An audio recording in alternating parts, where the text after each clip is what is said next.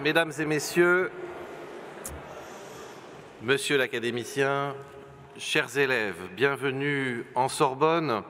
Je suis très heureux de vous accueillir dans ce magnifique euh, grand amphithéâtre, le temple de la culture française. Nous sommes entourés des très grands penseurs qui ont fait notre pays. Pour écouter Monsieur Jean Tirole, prix Nobel d'économie, donner la cinquième et dernière conférence euh, du cycle de l'année des académiciens en Sorbonne. Jean Tirole nous fera l'honneur de nous parler du sujet suivant, Sauver le bien commun, l'urgence du long terme. C'est un sujet passionnant, foisonnant, complexe, qui touche euh, à ce que nous avons peut-être de plus essentiel, car le bien commun, c'est ce que nous avons en partage, mais c'est peut-être aussi ce que nous avons de plus commun, de plus banal, ce à quoi parfois nous ne faisons plus même attention. Comment définir ce bien commun au singulier? L'expression peut revêtir des acceptions bien différentes. Le bien commun, ce peut être euh, les ressources naturelles, l'air, l'eau, la terre, mais ce pourrait être aussi le patrimoine culturel et artistique de l'humanité, par exemple. Et on entend parfois que notre système de protection sociale est aussi notre bien commun. Nous pouvons dire que le bien commun, c'est ce qui nous permet de bien vivre en commun et nous pousse à agir dans l'intérêt général, condition nécessaire pour faire nation. Et c'est pourquoi il est essentiel de chercher à le préserver. Ce titre programmatique, Sauver le bien commun, doit nous interpeller car il implique bien sûr que le bien commun serait menacé. Cette menace prend plusieurs formes, mais la principale, qui en engendre bien d'autres, c'est la crise climatique qui attaque nos écosystèmes et met à mal nos économies. Mais si ce titre nous interpelle, il nous incite aussi à l'optimisme. Il serait possible de sauver le bien commun, de protéger ce qui nous unit en tant que femmes et hommes et en tant que citoyens. C'est une nécessité et c'est une urgence, une urgence pour le long terme. Jean Tirole, qui mieux que vous pour porter ce sujet difficile? Le bien commun est un sujet d'économie politique, mais c'est aussi un sujet qui nous concerne tous au quotidien et qui nous engage.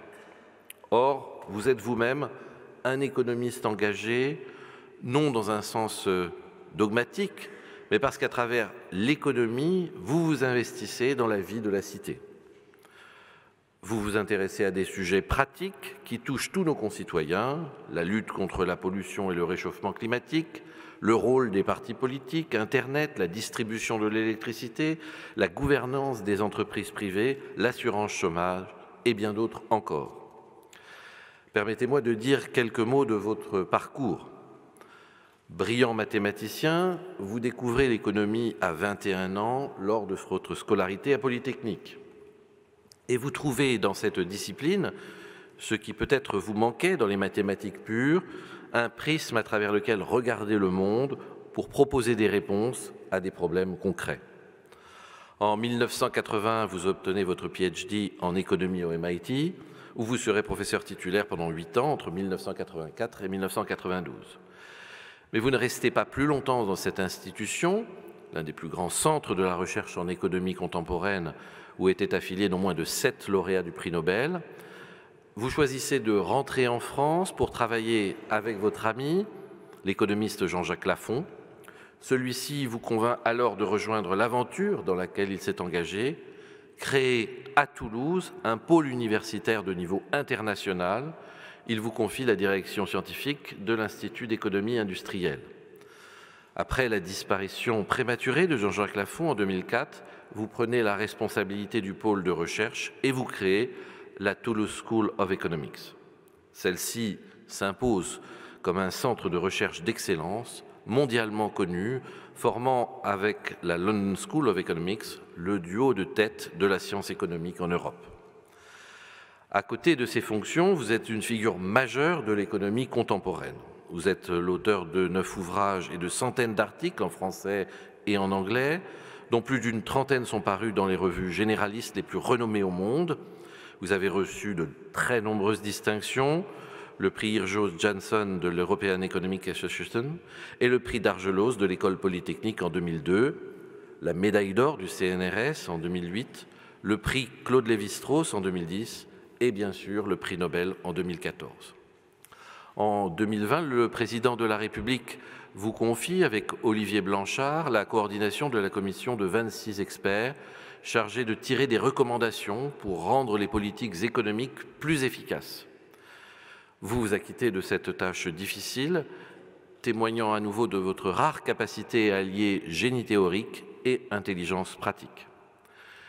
Chers élèves, vous avez devant vous l'un des plus grands économistes du monde. Jean Tirole incarne le chercheur investi et témoigne du rôle fondamental que peuvent avoir les sciences morales et politiques dans notre société. Son intervention d'aujourd'hui s'annonce riche et enthousiasmante parce qu'à travers une approche scientifique et rigoureuse, elle apportera des réponses aux questions qui nous taraudent sur les dangers qui nous menacent et sur les façons de mieux vivre ensemble. Il ne me reste donc qu'à vous remercier et qu'à vous souhaiter à tous une excellente conférence. Merci beaucoup.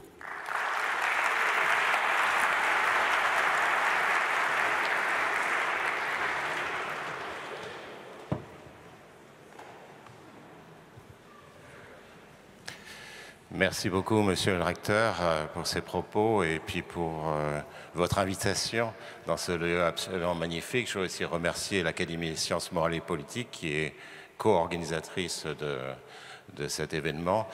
Et puis je voulais vous remercier, vous tous, d'être là et vos enseignants également, euh, qui me permettent d'avoir cet échange avec vous, parce que j'espère que ça sera un échange et non pas un, monologue. Euh, je pense que la partie la plus intéressante pour moi, ce sera évidemment de répondre et de discuter avec vous des, problèmes actuels, et Dieu sait s'il y en a. Euh, donc ce que je vais faire, si vous me permettez, c'est de faire une introduction au sujet. Euh, on pourrait passer des heures et des heures évidemment sur ce sujet, mais je vais faire une brève introduction sur la notion de bien commun. Ensuite, je vais prendre une illustration qui vous concerne malheureusement beaucoup, c'est le, changement climatique et le drame, dans lequel, auquel nous sommes confrontés.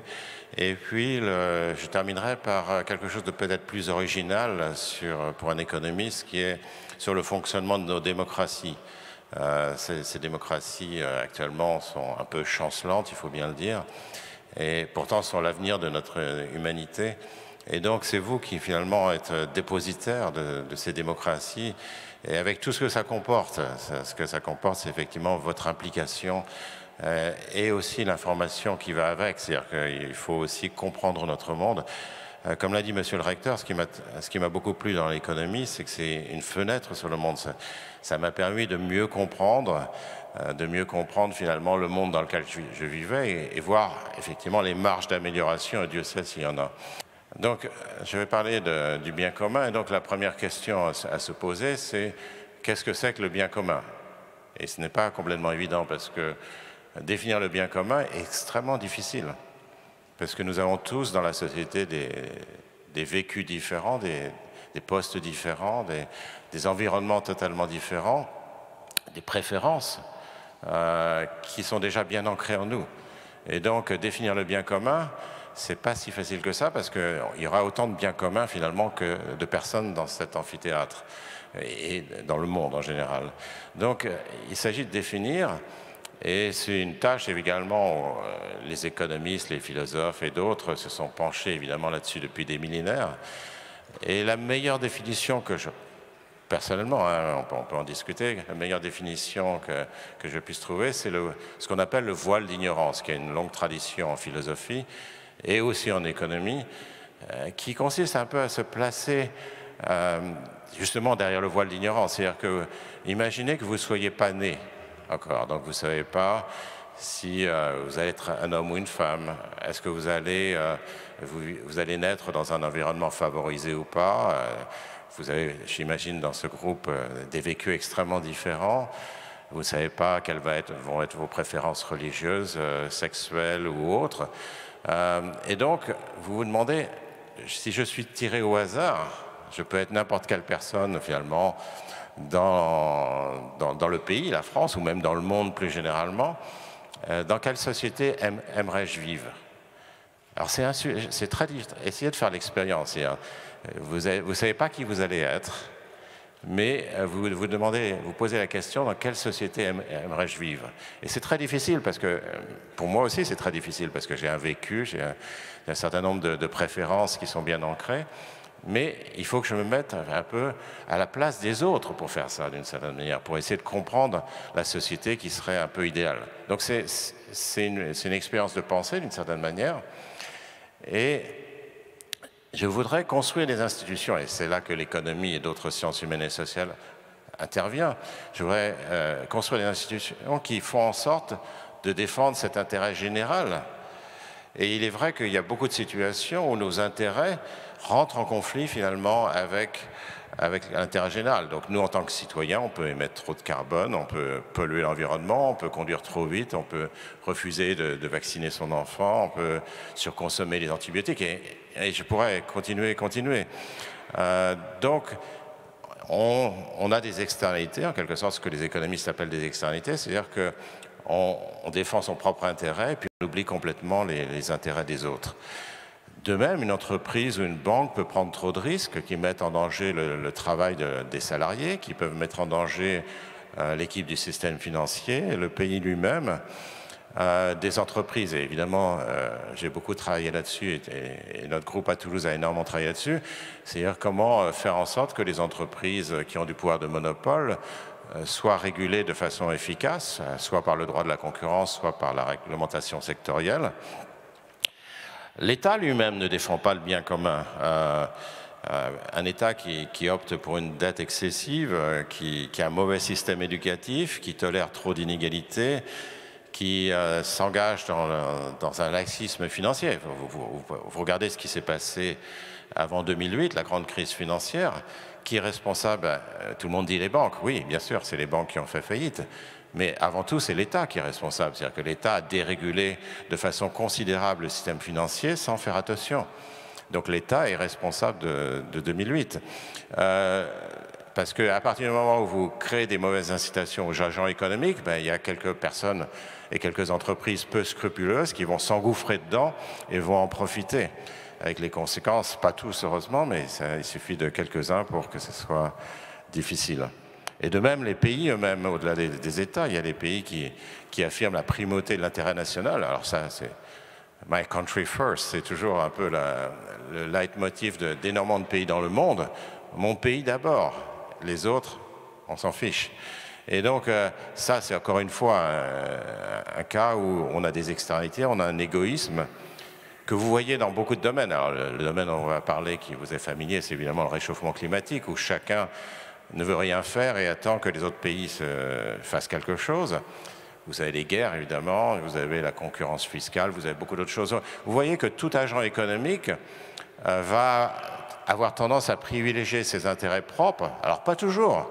En fait, nous, on travaille beaucoup, euh, nous, économistes, on travaille beaucoup maintenant sur, euh, sur la psychologie, sur les comportements prosociaux, sur tout ce qui, ce qui influe, qui, heureusement, améliore un peu les comportements, mais ça ne suffit pas. C'est-à-dire que les incitations ne sont pas les bonnes. Donc ça, ça va être un sujet considérable. Et quand on réfléchit au bien commun, il faut se placer dans cette perspective. C'est-à-dire qu'il ne faut pas être naïf, il ne faut pas imaginer que les gens, tout d'un coup, vont venir très généreux, que les, entreprises, les États, les pays, les, les, consommateurs deviendront très généreux tout d'un coup. On essaie de les encourager, évidemment, à devenir plus généreux, mais ça ne suffira jamais. Donc le bien commun, comme je le disais, je le définis par le voile d'ignorance, c'est-à-dire une expérience de pensée où on essaie de s'abstraire de son vécu, on se met à la place des autres dans la société et on essaie de dire si je ne savais pas qui je serais dans cette société, euh, dans quelle société aimerais-je vivre? Et ce n'est pas une utopie, c'est-à-dire qu'il faut en tenir en compte les incitations, car que tout le monde, les hommes politiques, les PDG, les chômeurs, les employés, les, chercheurs, euh, ben, on a tous euh, évidemment on réagit tous à nos incitations. Et si on ne comprend pas ça, on ne peut pas construire une société qui fonctionne. Un exemple classique, c'est euh, le mythe de l'homme nouveau. Alors à l'époque, on ne parlait pas de, de femme nouvelle, on parlait d'homme nouveau.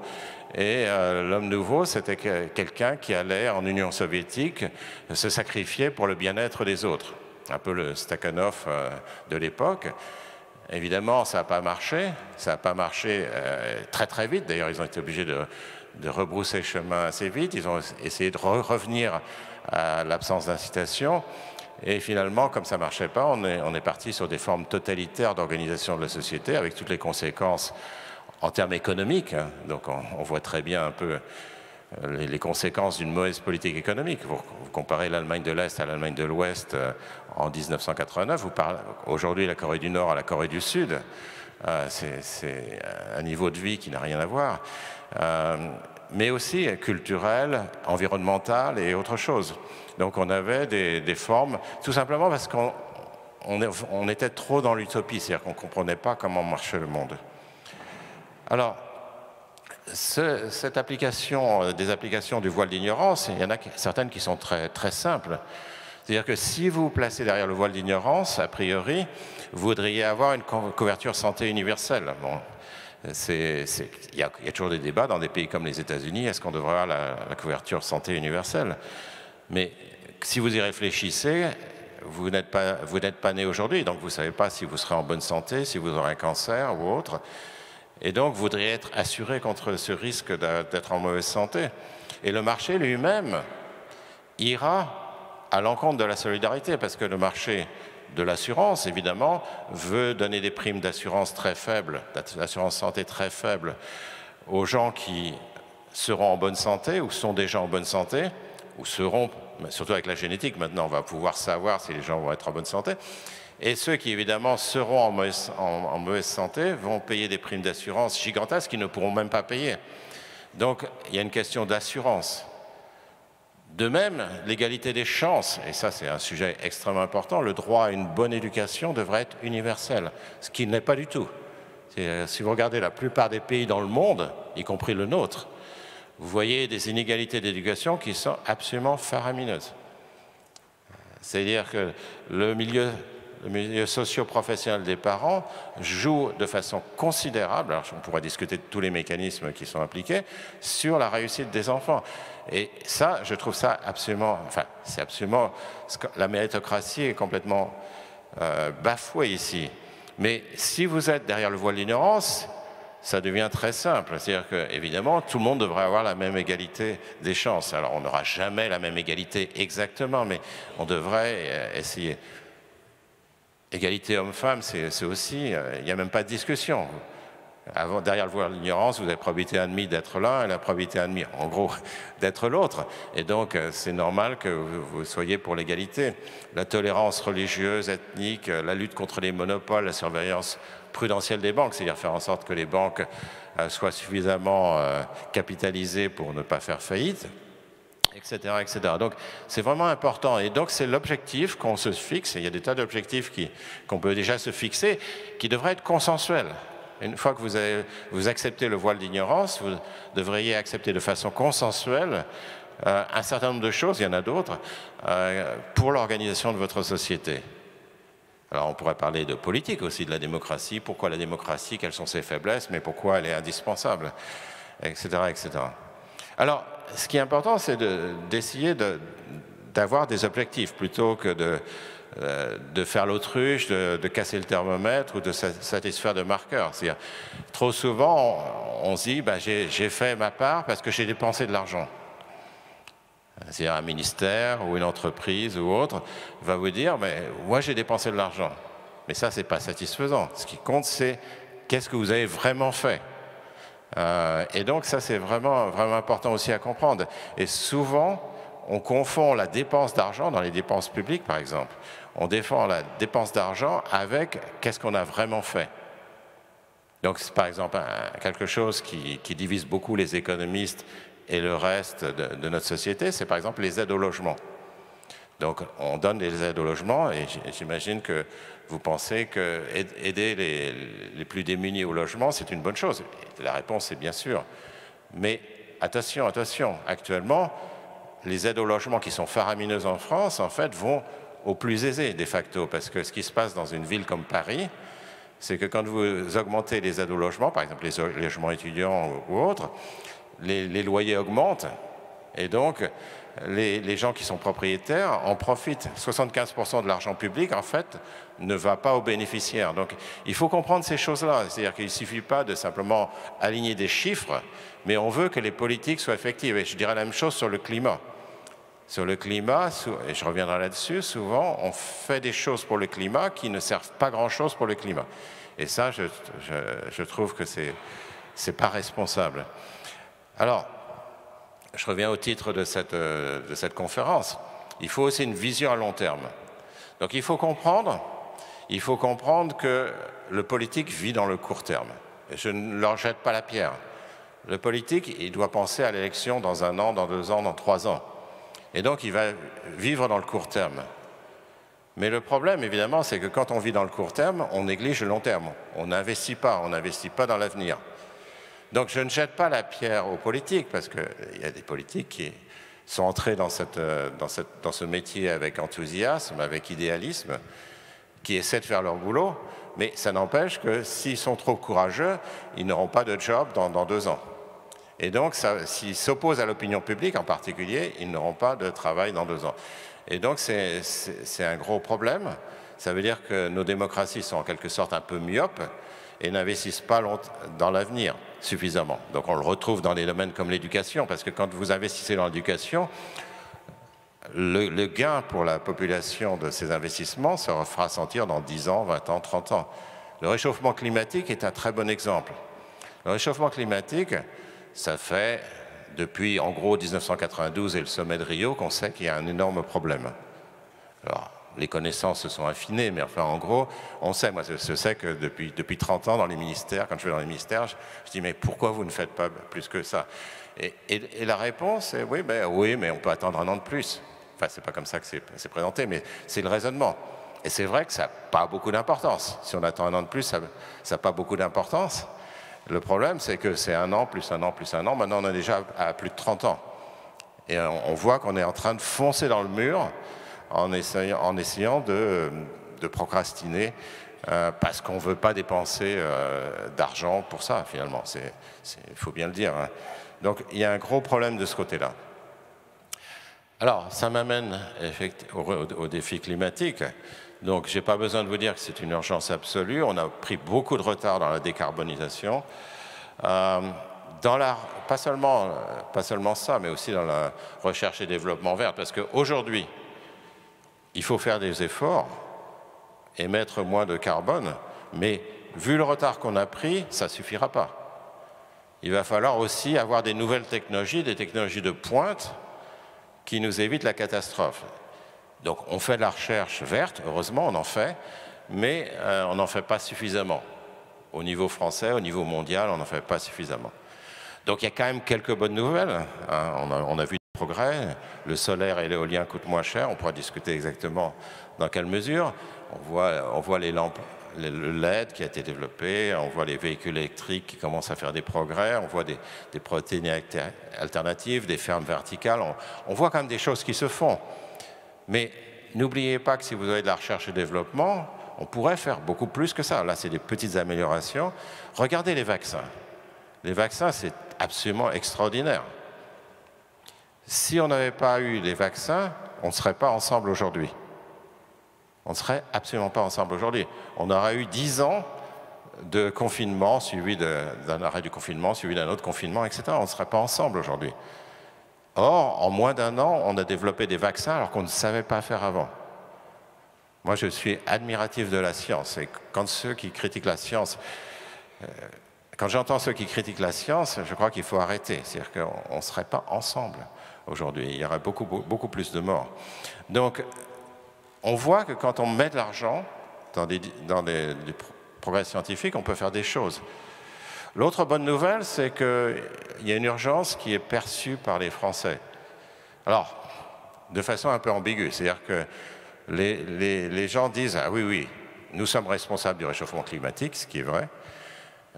Il faut faire quelque chose, mais pas moi. C'est-à-dire que la plupart des gens pensent qu'en fait, quand on fait des sondages, il faut effectivement faire quelque chose, mais à condition qu'on ne touche pas leur portefeuille. Et donc ça, pose un problème, parce que si on ne touche pas au portefeuille, euh, on ne sait pas exactement comment on va faire. Euh, un problème de perception. Donc, dans le rapport avec Olivier Blanchard, donc peut-être un, petit mot sur cette commission avec Olivier Blanchard, le président de la République nous avait demandé de, de faire une commission euh, et d'étudier trois sujets. Donc lui, il avait en gros fixé les trois sujets. On a discuté avec lui et nous, nous avions le choix de, la commission, des, 24 autres membres de la commission, et euh, le choix de ce qu'on racontait, évidemment, parce que c'est une condition sine qua non euh, d'écrire un tel rapport.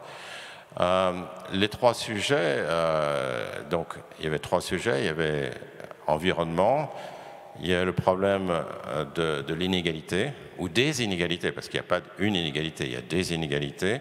Et enfin, le problème de, la démographie, euh, dont on reparle aujourd'hui beaucoup, évidemment, avec la, question des retraites. Euh, je vais parler juste du premier problème, mais encore très rapidement. Donc, il est disponible, hein, ce, rapport, sur le web, si vous voulez le trouver. Il est, il est disponible en français et, en anglais puisque notre commission, en fait, notre commission était totalement internationale. C'est-à-dire que sur les 24, il y avait 8 Français, 8 Européens non français et 8 euh, personnes aux États-Unis, chercheurs américains. Euh, l'idée étant de, prendre des idées ailleurs, je reviendrai là-dessus, c'est vraiment, vraiment important, c'est de ne pas rester dans un cadre franco-français, essayer de, réfléchir au niveau, au niveau plus, plus mondial. Alors, il y a certaines, euh, certaines perceptions de lectorat qui sont tout à fait correctes. Par exemple, une taxe carbone. vous, avez vécu les, gilets jaunes, euh, les protestations contre la taxe carbone fait des perdants et des gagnants, comme, comme toute politique publique, et est régressive. Qu'est-ce que ça veut dire régressive? Ben, Régressive, ça veut dire que si vous, êtes si vous avez un revenu assez faible, la proportion de votre revenu qui sera impactée par la taxe carbone est plus élevé que euh, si vous avez un revenu plus, plus élevé. Donc en fait, ça touche un peu plus les classes les plus démunies. Euh, et donc il y a un problème. Il y a un problème. Alors une remarque là-dessus, c'est quand même que la plupart des mesures écologiques sont elles-mêmes régressives. D'accord? Donc si vous avez une voiture électrique, c'est mon cas, évidemment j'ai bénéficié d'une subvention qui n'était pas effectivement, qui qui pas gigantesque, mais enfin, j'ai bénéficié d'une subvention, euh, alors que je ne devrais pas, a priori, bénéficier de subventions. Euh, donc, si vous voulez, qui achète une voiture électrique, ben, ça reste encore une classe relativement aisée. Euh, le photovoltaïque sur le toit, ben, qui en bénéficie, c'est les propriétaires. Alors les propriétaires, ce pas tous des riches, mais c'est aussi dans l'ensemble une classe aisée. Donc vous voyez que les, mesures écologiques en général sont agressives. Ça ne veut pas dire qu'elles sont mauvaises. Il faut faire très attention, donc il y a des problèmes de redistribution qui vont avec. Ça ne veut pas dire qu'il faut abandonner ces mesures, bien sûr. Alors il y a certaines autres euh, perceptions qui, elles, sont incorrectes. C'est-à-dire que euh, les gens réagissent beaucoup plus aux mesures visibles. C'est-à-dire que la taxe carbone était, bon, vous payez une taxe carbone. C'est punitif, je reviendrai là-dessus, c'est punitif. Alors qu'il y a beaucoup de mesures totalement invisibles auxquelles ils ne s'opposent pas. Donc c'est vrai des quotas d'émissions euh, sur les, ce qu'on appelle les permis, euh, qui existent depuis 2005 en Europe. Donc les entreprises paient pour acheter les permis quand elles polluent. Mais évidemment, ça, qui le paye in fine, ben, c'est le consommateur, parce que les entreprises, elles mettent ça dans leur prix, évidemment. Et donc, mais ça ne se voit pas, parce que ce n'est pas le consommateur qui paye directement, c'est l'entreprise qui paye. Donc officiellement, c'est une taxe sur les entreprises, mais de facto, ça va terminer comme une taxe sur les consommateurs. Mais j'ai jamais vu une manifestation contre ces permis. Euh, de même, les obligations d'achat euh, et de subvention à des énergies à l'isolation, j'ai jamais vu une manifestation contre. Mais, in fine, qu'est-ce qui se passe? Ben, ça, passe dans votre facture d'électricité. Et donc, c'est une forme de taxe aussi. Je peux dire la même chose sur les normes, les interdictions, ce sont des formes de taxes. Alors, ce qu'il faut comprendre, c'est qu'une subvention, c'est toujours une taxe, parce qu'il va falloir la financer ailleurs. Et ça, je crois que les, subventions sont très populaires, alors que les taxes sont très impopulaires. Donc, c'est très intéressant de voir un petit peu le problème de perception ici. Enfin, il y a le mythe de la croissance verte, euh, des emplois verts, de la transition énergétique heureuse. Alors moi, je suis un peu gêné parce que tous les politiques utilisent euh, ce stratagème, mais je suis un peu gêné par cette idée. Parce que si on peut avoir le beurre et l'argent du beurre, comme on dit, euh, si on peut effectivement sauver la planète tout en étant plus riche, collectivement, on l'aura déjà fait depuis 30 ans. Vous pensez bien qu'on l'aura déjà fait. Et donc, il y a cette idée, il y a cette idée qu'on va finalement croître plus vite euh, en sauvant la planète. Moi, je pense que la planète, elle, mérite d'être sauvée et que si on, a dépensé un coût pour ça, eh bien, il faut le dépenser. Mais il faut avoir l'honnêteté de dire qu'il faut dépenser quelque chose. Sinon, les gens disent, mais pourquoi je ferais quelque chose? Il faut faire quelque chose, mais pourquoi moi? Puisque de toute façon, il n'y a pas de problème. Donc ça me paraît quelque chose d'assez dangereux d'utiliser cet argument. Je comprends bien, c'est aussi pour faire passer la pilule d'une certaine manière, mais pour la démocratie, ce n'est pas très bon. Ça fait que les gens disent, dans la plupart des pays, hein, c'est pas qu'en France, dans la plupart des pays, disent oui, mais de toute façon, euh, pourquoi j'ai besoin de faire un effort euh, C'est pas la peine. Donc, il faut faire très attention à la façon dont on présente ça.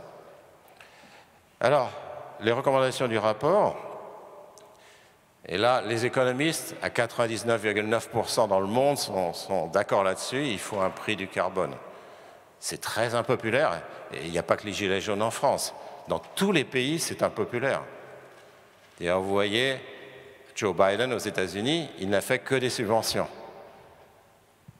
D'accord? Encore une fois, une subvention, c'est une taxe, mais enfin bon, il a fait que des subventions parce que c'est beaucoup moins impopulaire que les taxes. Et mais il faut un prix du carbone. Alors, comme je le disais, le prix du carbone, il existe dans, beaucoup de pays dans le monde, y compris en Europe avec ce, système de droits d'émission négociables, les fameux permis qui existent depuis 2005. Mais il faut responsabiliser, il faut responsabiliser les entreprises, il faut responsabiliser l'État, il faut responsabiliser les consommateurs. Ça donne de bonnes incitations et ça permet de dépenser de façon limitée. Pourquoi? C'est un raisonnement très simple.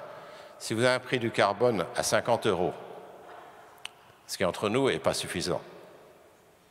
C'est-à-dire que le niveau qui a mis les gilets jaunes dans la rue est en fait un niveau très insuffisant pour sauver la planète.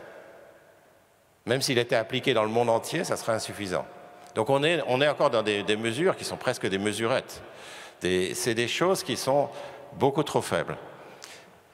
Mais supposons que le prix du carbone soit 50 euros. Donc, si ça permet, si, ça, vous coûte 10 euh, euros pour enlever votre pollution, ben vous, le faites. Si ça vous coûte 1000 euros pour euh, vous débarrasser de votre pollution, vous ne le faites pas. Ça permet de, de minimiser le coût total de dépollution. Sachant que par ailleurs, les gens sont très inquiets, de façon légitime, pour leur pouvoir d'achat, il ne s'agit pas d'augmenter de trop le coût de dépolluer. Et ça, c'est très important, ça a beaucoup d'implications. Donc c'est une méthode incitative. Ça encourage à la R&D. Pourquoi? Je vous ai dit qu'il y a trop peu de R&D verte. Ben, pourquoi il y a aussi peu de R&D verte ben, Simplement parce que les innovateurs ne peuvent pas monétiser leurs inventions. Si j'invente une nouvelle technologie qui permet d'économiser du carbone, et que je vais voir les entreprises et je leur dis, écoutez, je, je vous octroie une licence, vous me payez tant, ils vont dire, mais pourquoi je vais payer? Je peux polluer gratuitement. Et donc, à partir du moment où vous avez un prix du carbone, ça aussi permet de monétiser la recherche et le développement. Alors ça ne suffit pas pour encourager la recherche et le développement, mais c'est un peu une composante. Et enfin, quelque chose qui est beaucoup moins connu, c'est que ça permet de simplifier les décisions. Donc, vous prenez par exemple euh, exemple une loi récente en France. Les offres publiques, les offres d'achat public, doivent inclure des critères environnementaux. D'accord? Donc, sur le papier, ça paraît très raisonnable. On devrait orienter les achats publics pour limiter les consommations de carbone. En pratique, réfléchissez un peu comment ça se passe. Vous avez l'élu local qui va va décider entre, euh, entre un producteur euh, du Béarn et un producteur à Paris. Donc il va se dire, mais attendez, combien il, y a de, combien il de carbone dans la production, combien il y a de transport pour amener du Béarn à Paris, etc. etc. Donc, vous n'avez pas les informations sur les chiffres, d'abord, vous n'avez aucune idée. Et même si vous avez une information sur les chiffres, quand vous faites votre appel d'offres, vous, devez mettre un prix sur le carbone. Parce que vous, devez comparer le, prix qui est demandé avec combien d'émissions de carbone chaque alternative va faire. Donc, on, a un sujet d'information qui est très complexe. On s'est moqué de moi, comme vous le voyez, dans une, je ne sais plus c'était dans, un, quotidien ou un magazine, mais sur euh, les tomates.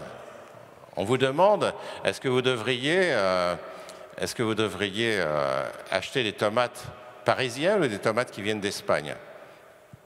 Ben, Vous allez dire, oui, mais les tomates qui viennent d'Espagne, il y a du transport, donc il y a du carbone qui est émis. Ah oui, mais les, tomates parisiennes, peut-être qu'elles sont élevées sous, enfin, elles grandissent sous serre et donc il y a des émissions de carbone. Et puis, in fine, je vais devoir comparer ça à une différence de prix. J'ai aucune idée. La réponse, c'est que j'ai aucune idée de comment comparer ces tomates parisiennes avec des, des tomates qui viennent d'Espagne. Euh, alors que si vous avez un prix du carbone, le prix des tomates va refléter finalement combien le producteur aura payé en, en taxe carbone ou en, droit d'émission négociable. Et donc, vous avez un problème beaucoup plus simple. Vous-même, vous serez amené à faire un choix beaucoup plus éclairé, euh, ce qui n'est absolument pas possible si, euh, à moins que vous ayez tous les instruments de mesure, mais personne, y compris les collectivités territoriales, n'ont pas les instruments de mesure et la possibilité de vérifier les émissions. Donc, il y a, il y a un problème de simplicité.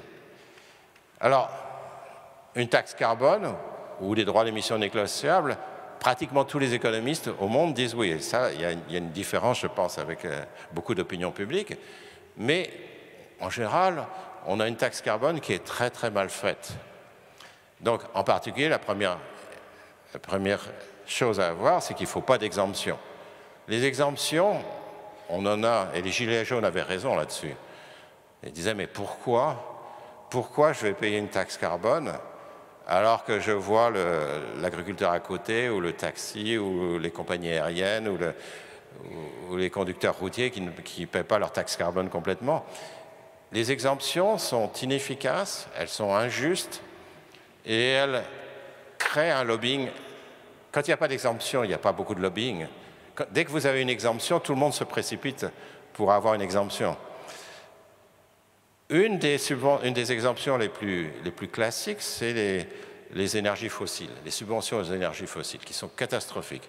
Alors l'Europe n'est pas la pire, hein, on est, les pires, ce sont les États-Unis, la Russie, la Chine, mais les, subventions aux énergies fossiles, c'est terrible. C'est terrible. Un sujet sur lequel les économistes sont un peu plus partagés, c'est la taxe carbone aux frontières. Donc, dans notre rapport, on a, proposé une taxe carbone aux frontières. Euh, tout ça parce que si vous voulez une taxe carbone, tant que le prix du carbone sur le marché européen était de, 5-10 euros la tonne, il n'y a pas vraiment de sujet. Vous n'avez pas délocalisé pour ça. Mais à partir du moment où vous avez un prix qui est plus raisonnable, comme 50, euh, plutôt 100 euros la tonne maintenant, ben, si vous avez 100 euros la tonne, ben, vos industriels vont commencer à vouloir produire ailleurs où vous allez importer les biens d'autres pays, ce qui veut dire qu'in fine, vous allez détruire votre industrie et vous n'allez pas sauver la planète parce que de toute façon, quelqu'un d'autre va polluer ailleurs. Donc il y a un problème, on peut faire une taxe carbone aux frontières sur les produits importés, ce qui pose des problèmes de mesure parce qu'on ne sait pas si ces produits vraiment sont polluants ou, sont verts, parce qu'après tout, l'entreprise chinoise qui produit à, partir de technologies vertes, vous n'avez pas de raison de, de la pénaliser. Donc ça, c'est un sujet. Après, il y a des problèmes techniques. Il faut essayer d'aider le, secteur privé avec des planchers, des plafonds pour qu'ils puissent mieux prévoir euh, leurs investissements. Et, très important, une redistribution explicite. C'est-à-dire que en 2018, un des problèmes de la taxe carbone, c'est que la redistribution n'avait pas été pensée avant. Donc, si on donnait même un chèque, ce qui n'est pas du tout la politique que je préconise, mais si même on donnait un chèque de redistribution à tous les Français, les, catégories les plus démunies gagneraient à avoir une taxe carbone. C'est-à-dire qu'ils obtiendraient plus par le chèque que ce qu'ils paient en taxe carbone. Donc vous pourriez garder l'incitation sans, euh, sans faire de tort aux plus démunis, ou pouvoir un chèque qui dépend des, ressources, etc. Vous avez beaucoup de choses à faire. Mais il faut bien prévoir, et c'est vrai d'ailleurs au niveau international aussi, il faut bien prévoir des modes de redistribution. Alors, les subventions à la recherche et développement, je vais aller très vite parce que je voudrais quand même garder du temps pour la discussion. On a un certain nombre de préconisations pour essayer de promouvoir la, recherche et développement de, de très haut niveau. Une des choses quand même qu'il faut bien comprendre, c'est qu'on ne sait pas. Il faut avoir une certaine humilité sur la technologie. Un politique qui vous dit l'avenir c'est l'hydrogène par exemple, ou la capture du carbone, ou je ne sais pas quoi. En fait, la vérité c'est qu'on ne sait pas. Vous prenez de nouveau l'exemple des vaccins. Vous avez eu trois technologies, et d'ailleurs, la technologie qui était prédite euh, pour, pour, un succès, ce n'était pas vraiment l'ARN messager. Donc il ne faut pas mettre tous ces œufs dans un même panier, on ne sait pas. La recherche, c'est par définition quelque chose d'aléatoire, et donc il faut arriver à, avoir un portefeuille de choses. Alors il y a, beaucoup d'autres politiques, je vais aller assez vite. Hein. Euh, comme je disais, si vous êtes intéressé par le rapport, on a un long chapitre sur les inégalités, des propositions aussi, sur le vieillissement, les retraites, etc. Alors, je voudrais terminer un peu, et c'est un sujet très important, par un sujet qui est, absolument crucial. Il faut bien comprendre, et je ne les blâme pas, que les politiques réagissent aux opinions de l'électorat, que les journaux, les médias sociaux réagissent aux opinions de leur lectorat. Et donc, in fine, une démocratie ne peut bien marcher que si les citoyens sont bien informés. Et c'est très important qu'il n'y ait pas que les experts qui aient accès à la connaissance, mais que plus généralement, les citoyens, vous, vous ayez accès à la connaissance. Euh, et ça me paraît, c'est pas seulement de la culture générale, la culture générale est importante, mais c'est aussi le bon fonctionnement de la démocratie. Une démocratie ne peut pas bien fonctionner si vous n'avez pas un accès à cette euh, chose-là. C'est très difficile pour les experts. Les experts sont dénigrés aujourd'hui, mais c'est très difficile pour les experts d'intervenir si leur champ de recherche est très proche d'interaction directe avec la société. Et ça, c'est vraiment, je parlerai de l'économie par la suite, mais si, vous êtes médecin, si vous êtes biologiste, si vous êtes spécialiste du, changement climatique ou la théorie de l'évolution aux États-Unis ou autre, c'est pas facile, ou si vous êtes historien aussi. Historien, c'est pas toujours facile d'être historien, parce qu'évidemment, vous vous heurtez à certaines présupposés. En économie, ben, ça dépend.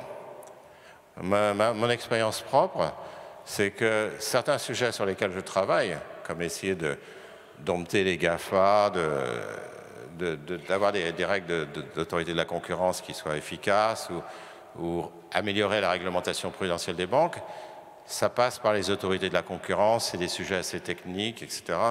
Mais par contre, dès que vous, parlez de sujets qui, eux, sont, sont, beaucoup plus dans le débat public, on peut parler de la réforme du marché du travail, on peut parler des retraites, on peut parler du climat, là, les choses deviennent de plus, en plus difficiles. Et donc, il y a un peu cette question de, l'obstacle. Alors, il y a certaines spécificités de la discipline économique avec une triple méfiance. Euh, d'abord, la méfiance vis-à-vis du marché. Euh, la défiance vis-à-vis du marché en France, pas les autres pays, mais en France, est extrêmement forte. Euh, les Français se méfient de l'économie du marché. Alors, ils ont souvent raison et ils ont souvent tort aussi. Et donc, il faut essayer de comprendre. À ce sujet, je voudrais insister sur quelque chose qui est important. Le libéralisme tel que vous le lisez dans les journaux n'est pas le libéralisme du tout. Le travail d'un économiste, c'est de pallier aux défaillances de marché. L'information, le pouvoir de marché, les externalités comme le climat, les inégalités, etc., ce sont des défaillances de marché. Mais aujourd'hui, toutes les économies dans le monde, sauf la Corée du Nord, sont des économies de marché, il faut bien comprendre. Donc un libéral, ce n'est pas du tout quelqu'un qui est pour le laisser faire, comme on le lit partout. Un libéral, c'est au contraire quelqu'un qui veut réguler le marché pour que le marché fonctionne beaucoup mieux. Le marché est la seule alternative qu'on ait trouvée jusqu'ici pour avoir une certaine efficacité.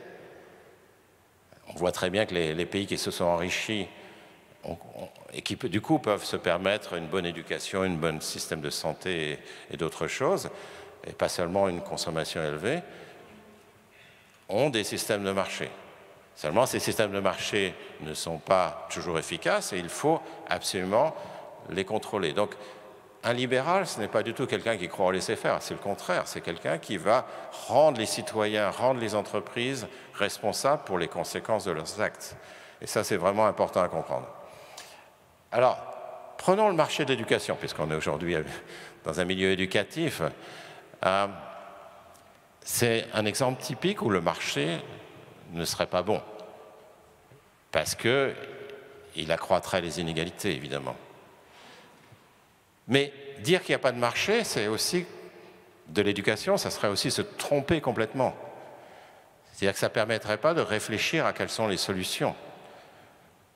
Parce que l'offre et la demande est partout. Que vous l'aimiez ou ne l'aimiez pas, l'offre et la demande sont absolument partout. L'économie est partout. Donc prenons les enseignants. Mais il y a une offre et la demande. Dans tous les pays, on est obligé de donner des primes pour aller travailler dans les quartiers les plus difficiles. On est obligé de, rendre aller travailler dans les quartiers plus difficiles une activité de prestige. Vous prenez le problème de la pénurie d'enseignants en sciences, en mathématiques, en physique. C'est un problème d'offre et de demande. Il y a des opportunités pour gagner beaucoup plus d'argent dans d'autres métiers. Le métier d'enseignant n'est pas particulièrement bien payé. Et donc, automatiquement, on a une pénurie d'enseignants en mathématiques et en sciences. Et donc, c'est une question d'offre et de demande. De même du côté des étudiants, des élèves. Vous regardez le marché, il existe sous forme, de, sous forme de, très violente en France. Et pas seulement en France. Hein. Euh, de façon extrêmement violente. Il, existe. Donc vous voyez, c'est en, général, le prix du foncier. Euh, là où vous est-ce que vous êtes dans un quartier avec des, bonnes écoles? C'est de plus en plus en France les cours et les stages privés, le coaching euh, est quelque chose qui est moins connu, mais dont parlaient les sociologues euh, autrefois, en particulier Boudon, il y a 50 ans, mais c'est devenu encore pire, c'est la connaissance des filières. C'est-à-dire que ce que j'appelle dans, mon livre Économie du bien commun le délit d'initié. C'est-à-dire que les classes aisées, évidemment, savent quelle filière il faut prendre, et les classes moins aisées ne le savent pas forcément, c'est-à-dire qu'ils n'ont pas accès à l'information. Et donc ça, c'est vraiment, vraiment très, grave, je pense. Je pense que l'État français, mais comme d'autres États, ne remplissent pas leur rôle, finalement, de, euh, qui était un rôle qui était très, très prévalent, au moins dans, les légendes, euh, sur la Troisième République. C'est-à-dire l'instituteur qui, disait Mais toi, tu peux aller plus loin, tu as la capacité d'aller plus loin, mais par contre, il faut que tu fasses ça. Et ça, ça me paraît très, important. Mais je voudrais insister le marché existe. L'idée que vous pouvez passer du marché, vous pouvez vous passer du marché ne, peut pas. Les, les hostilités aux incitations est importantes. J'ai déjà parlé de la taxe carbone. Euh, les réformes sur le marché de l'apprentissage, en fait, est un exemple effectivement qui montre que les incitations peuvent fonctionner. Et puis, il faut évaluer et utiliser cette évaluation. Euh, en particulier, il faut aller regarder à l'étranger, c'est-à-dire les expériences qui ont mieux marché, il faut essayer d'utiliser ce qu'on a appris à l'étranger ce qu'on ne fait pas assez souvent en France. Il faut avoir de l'humilité et dire ce qu'on fait en France n'est pas forcément ce qui, se fait de mieux. Alors après, il y a des sujets plus complexes, hein, qui est des choses comme l'évaluation des, enseignants. dans ma propre école euh, à Toulouse, les étudiants évaluent les enseignants. Alors ça pose des problèmes aussi, hein, c'est un peu compliqué, mais disons qu'il faut essayer de réfléchir à tous ces problèmes d'évaluation. Alors, je voudrais parler un peu des biais cognitifs, dont nous souffrons tous, vous et moi. Alors, je vais prendre deux exemples. Je vais prendre deux exemples parce que c'est très important à comprendre ces biais cognitifs si vous voulez comprendre pourquoi il est difficile, en fait, de communiquer certains messages, qu'ils soient économiques, médicaux, biologistes, etc., aux citoyens. La première, c'est que tous autant que nous sommes, nous croyons ce que nous voulons croire. Donc là, il y a beaucoup de travaux en économie et en psychologie pour montrer qu'en fait, nous avons des croyances motivées. Nous croyons ce que nous voulons croire. Donc, des exemples classiques non économiques, c'est simplement, ben, on croit que finalement, et heureusement d'ailleurs on croit ça, que les accidents ne vont pas nous arriver, que nous n'allons pas avoir un cancer, que, que, les gens qui nous sont proches ne l'auront pas non plus. Heureusement, parce qu'on ne veut pas penser à la mort à longueur de journée. Mais disons que c'est un exemple de croyance motivée qui a un côté fonctionnel d'ailleurs très utile. Le syndrome de Stockholm, dont vous avez peut-être entendu parler, c'est-à-dire les otages qui se mettent à aimer les terroristes qui les prennent en otage. Mais c'est aussi une croyance motivée, c'est simplement qu'ils veulent croire qu'ils ne sont pas si mauvais que ça, parce qu'ils veulent croire qu'ils commencent à, les aimer simplement parce qu'ils euh, veulent croire qu'il n'y aura pas de conséquences néfastes de leur, de leur kidnapping. Sur le climat, il y, a, heureusement de moins en moins qui dénient le facteur anthropique, mais il y a cette acceptation générale que c'est les autres qui paieront. Ce n'est pas moi qui vais payer, ce sont les autres.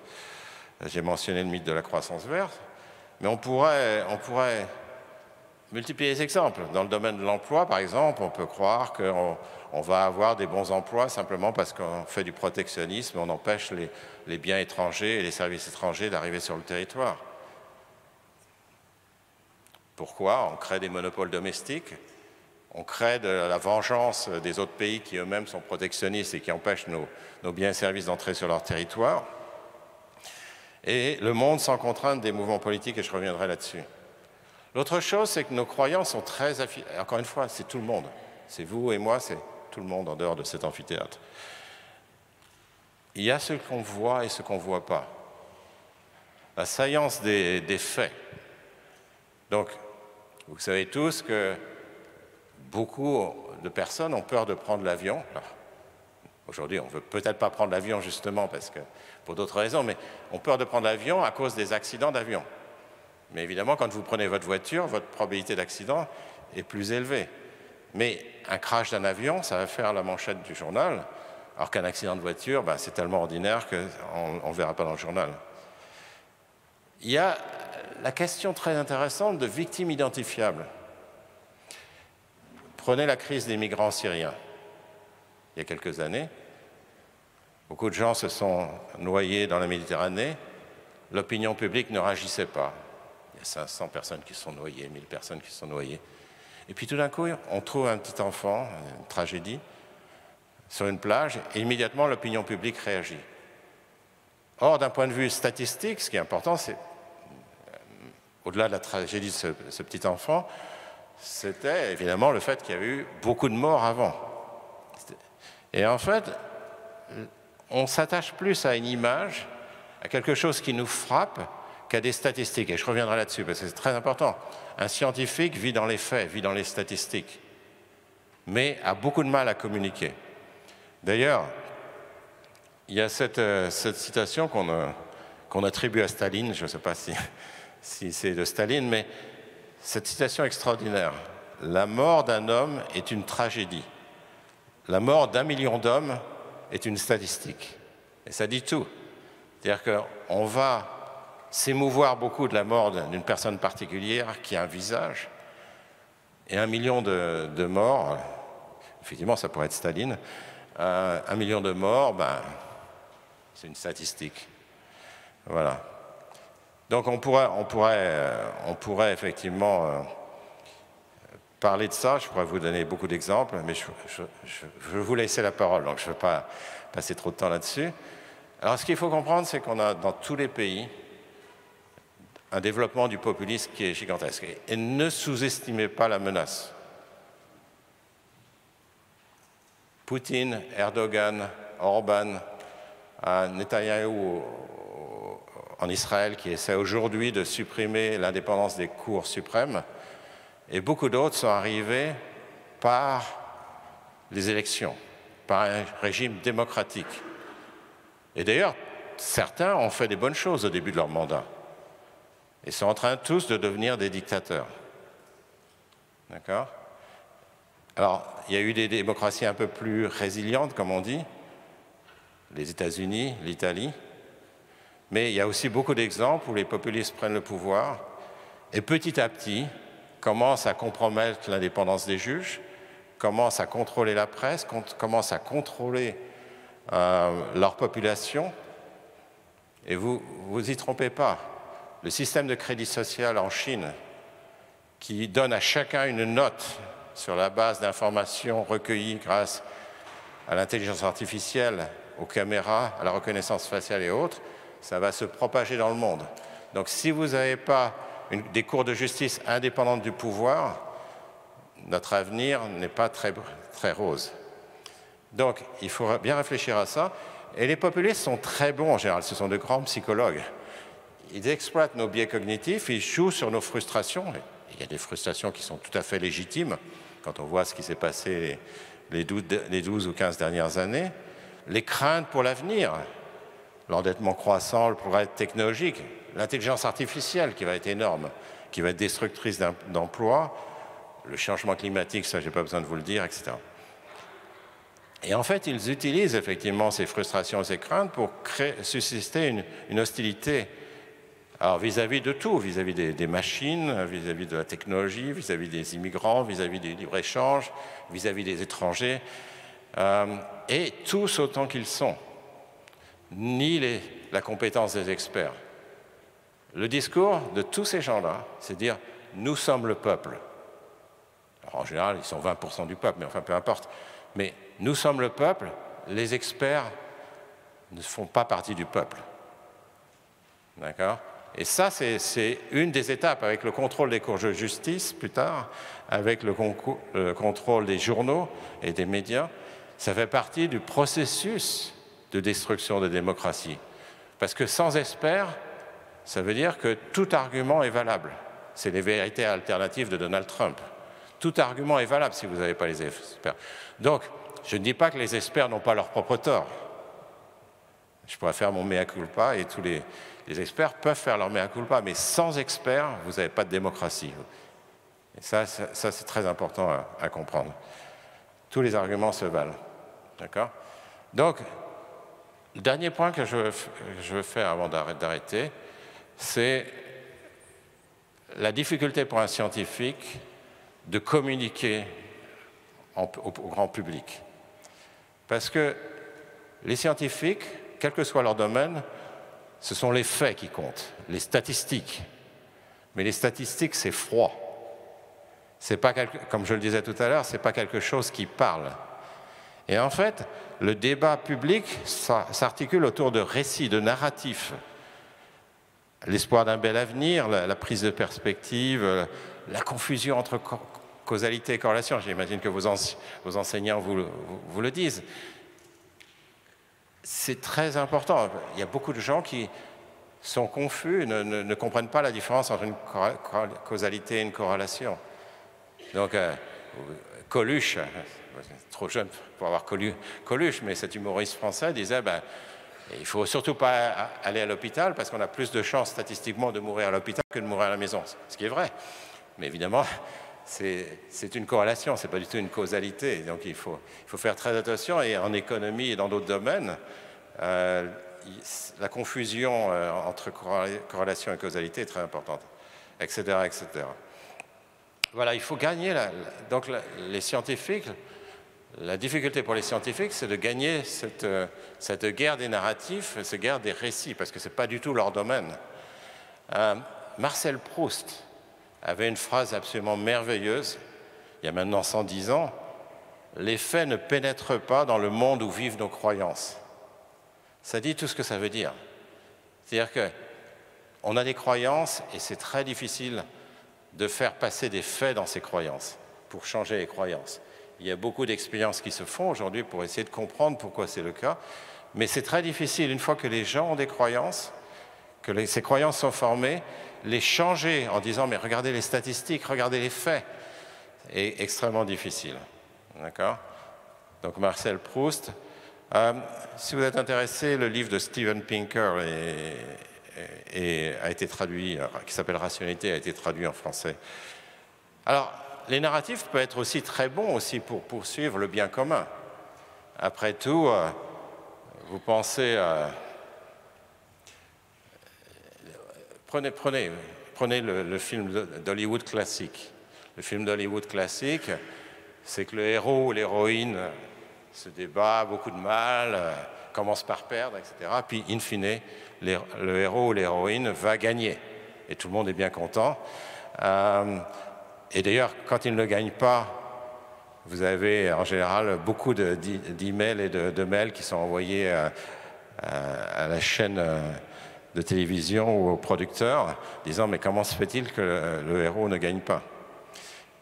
Donc il y a beaucoup de narratifs qui peuvent aussi prévoir le, bien commun. Et donc un des défis auxquels on va être confronté, c'est de commencer par des narratifs pour essayer d'attirer l'intérêt des, des personnes et puis après de passer dans ce qui est quand même la définition d'un expert, ce sont les faits, euh, etc. Voilà. Donc, juste pour terminer, l'économie a des aspects contre-intuitifs, mais elle est, très, accessible, donc je crois que c'est vraiment quelque chose, bon, vous le savez, vous étudiez l'économie, euh, je pense que c'est vraiment quelque chose. Il y a beaucoup de personnes qui pensent que l'économie, c'est comme les maths et tout ça. Euh, c'est inabordable. L'économie, les maths et les autres disciplines sont tout à fait abordables en fait. Euh, mais il faut évidemment investir un petit peu dedans. Elle est très accessible. Et l'autre point sur lequel je voudrais insister, c'est que l'économie, c'est en fait une science morale et philosophique. Donc son rôle est nous sommes responsables si nous ne le faisons pas, c'est de rendre le monde meilleur, comme toute autre science euh, doit rendre le monde meilleur. Voilà, je vais m'arrêter là. Un peu de publicité pour le livre Économie du bien commun, qui maintenant existe en poche, hein. euh, si vous êtes intéressé. Je vais m'arrêter là et puis j'attends avec impatience vos questions et vos réactions. Merci.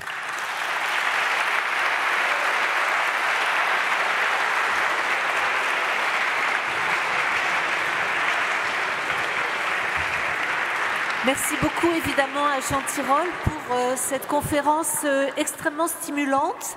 Je vous précise que le PowerPoint sera mis aujourd'hui ou demain sur le site de l'Académie sciences morales et politiques.fr et aussi sur Melchior et sur le site du rectorat. La parole est à vous. On a deux micros qui circulent. Levez-vous, présentez-vous, dites de quel lycée vous êtes et Jean Tirole vous répond. Merci. Et ça de vous répondre. Bonjour. Bonjour.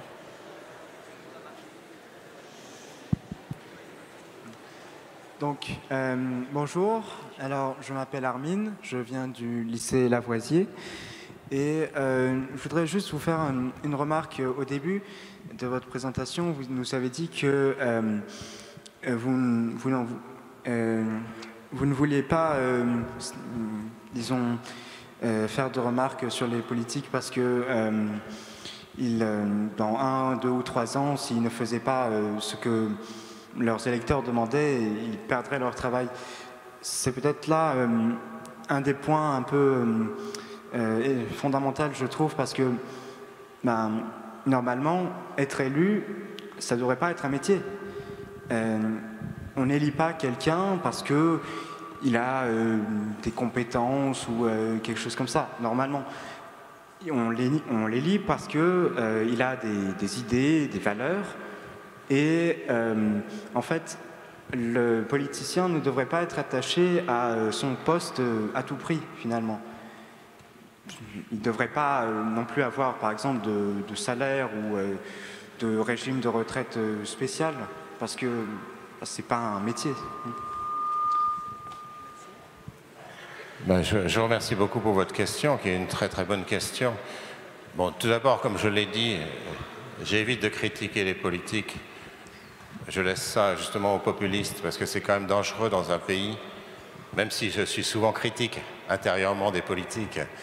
Euh, c'est quand même assez dangereux parce qu'on vit dans une démocratie. Donc si on n'a pas confiance dans les politiques, ça peut aller très très loin. Donc par exemple, l'idée que les politiques sont corrompus, etc.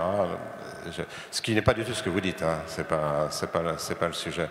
Donc, il faut faire très très attention à son discours sur le sujet. La question, c'est effectivement, donc on, veut que les politiques, on veut quand même qu'ils soient compétents si possible, mais on veut aussi qu'ils soient euh, finalement bien disposés vis-à-vis de leurs électeurs. Mais je pense que dans l'ensemble, ils ne sont pas forcément mal disposés. La question, c'est. Le grand sujet, c'est le sujet où ce qu'on estime être le bien commun, en économie, mais ça peut être en tous les autres sujets aussi, quand ça diverge de l'opinion publique. C'est ça le grand sujet en fait. Donc, euh, je ne sais pas, par exemple, si une guerre est populaire, et une partie, une, partie de l'électorat euh, veut entrer en guerre, euh, est-ce qu'on le fait?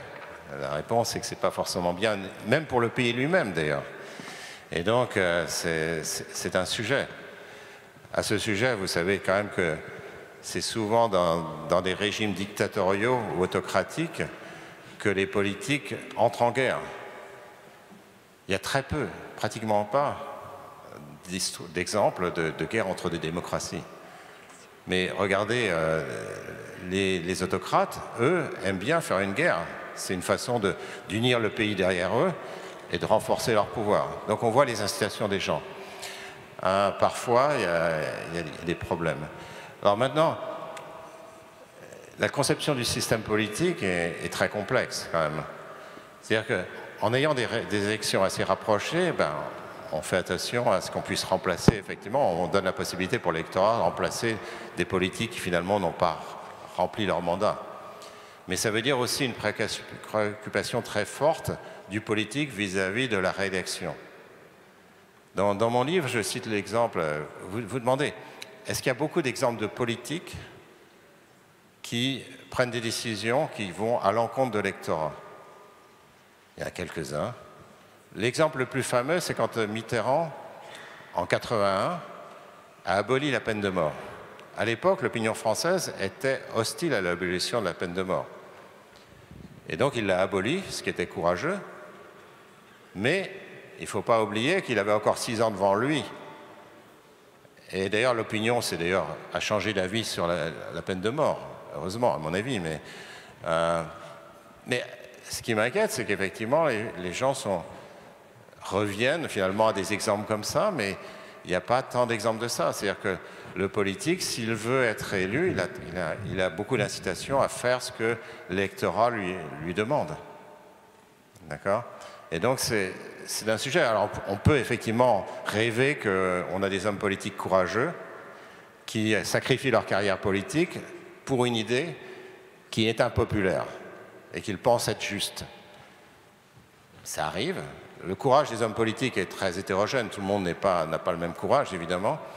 Mais il faut comprendre qu'il ne faut pas non plus s'attendre à ce que les gens sacrifient leur carrière systématiquement pour ça. Quand on voit leur insistance à rester au pouvoir de toute manière, hein, euh, il, y a beaucoup d'hommes politiques qui veulent rester au pouvoir, fondamentalement. Et ça, c'est un problème. Bon, un contre-exemple, c'était la ministre de la Nouvelle-Zélande, mais enfin, disons que de façon générale, les gens, quand ils ont le pouvoir, ils y restent. Et donc, euh, ce qu'ils font souvent, c'est de, de ne, pas prendre le risque de, ne pas être élu. Et c'est un problème considérable. Mais il faut l'accepter, il c'est-à-dire qu'il faut de nouveau se mettre à la place du politique. C'est-à-dire, si vous étiez au pouvoir, qu'est-ce que vous feriez? D'accord? Alors peut-être certains d'entre vous diraient, ben, je, ferai quelque chose que je pense est très juste, tant pis si je ne suis pas réélu, mais ça ne sera pas forcément une majorité. Mais il faut, faut arriver à se mettre à la place des autres. Quoi. Je ne sais pas si je réponds à votre question. Alors, bonjour monsieur, merci beaucoup de votre temps, d'avoir euh, exposé vos faits. Alors, j'ai une question concernant euh, donc, euh, le rapport du GIEC qui est ressorti récemment. En France, 50% des émissions de CO2 sont rejetées et sont causées ici à propos du point de vue économique qui est majoritairement causé par les exportations et donc ma question ici est la suivante. Pensez-vous que le protectionnisme économique est une solution pour contrer ici cette, ces 50% d'émissions de CO2 Merci beaucoup. Ben.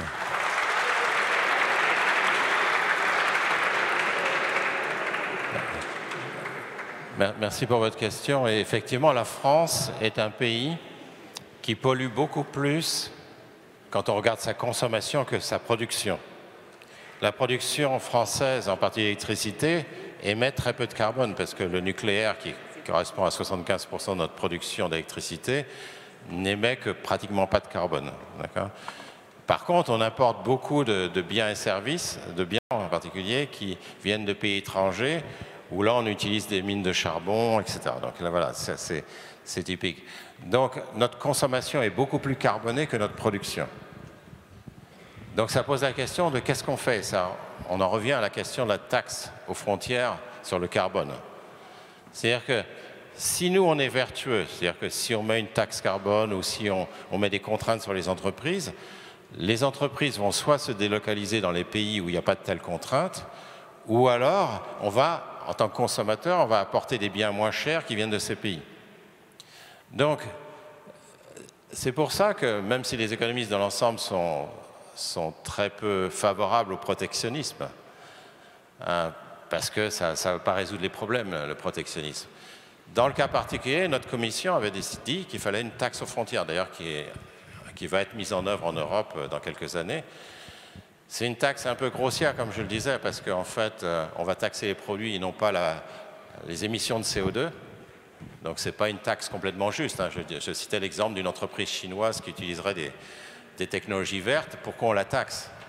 Mais euh, comme un peu une, façon, moi je le vois surtout comme une façon de forcer les pays qui utilisent autant de charbon euh, et autres technologies sales à venir à la table de négociation et de dire, écoutez maintenant, il va falloir que vous, vous fassiez un effort aussi. Euh, donc ça, ça, me paraît important. Je ne sais pas si j'ai répondu à votre question exactement.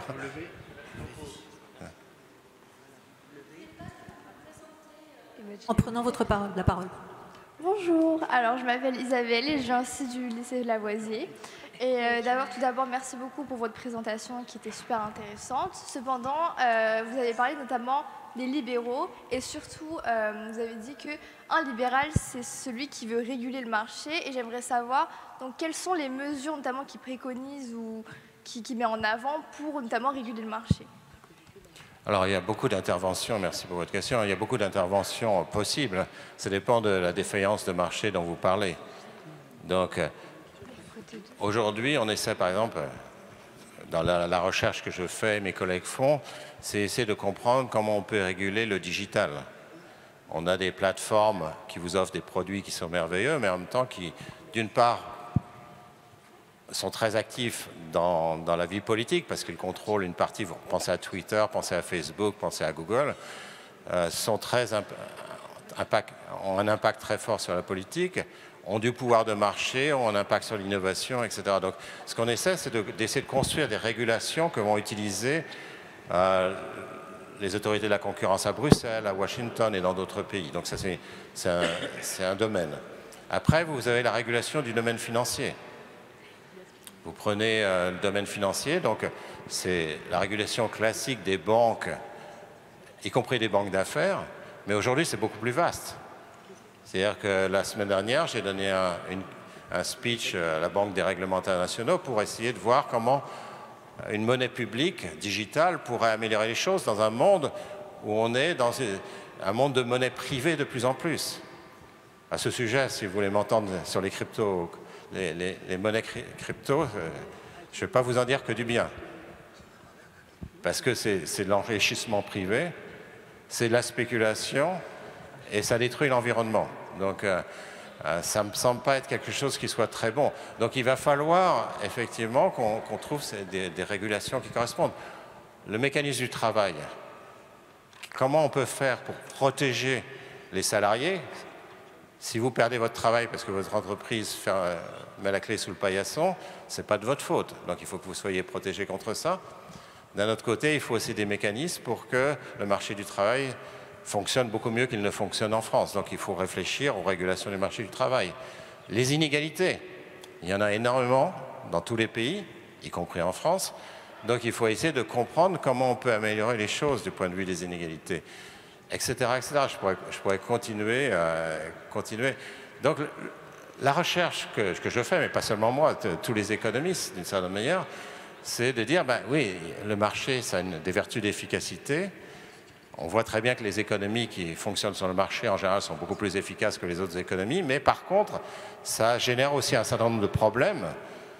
Et on a besoin d'un cadre conceptuel et de données pour pouvoir résoudre ces problèmes.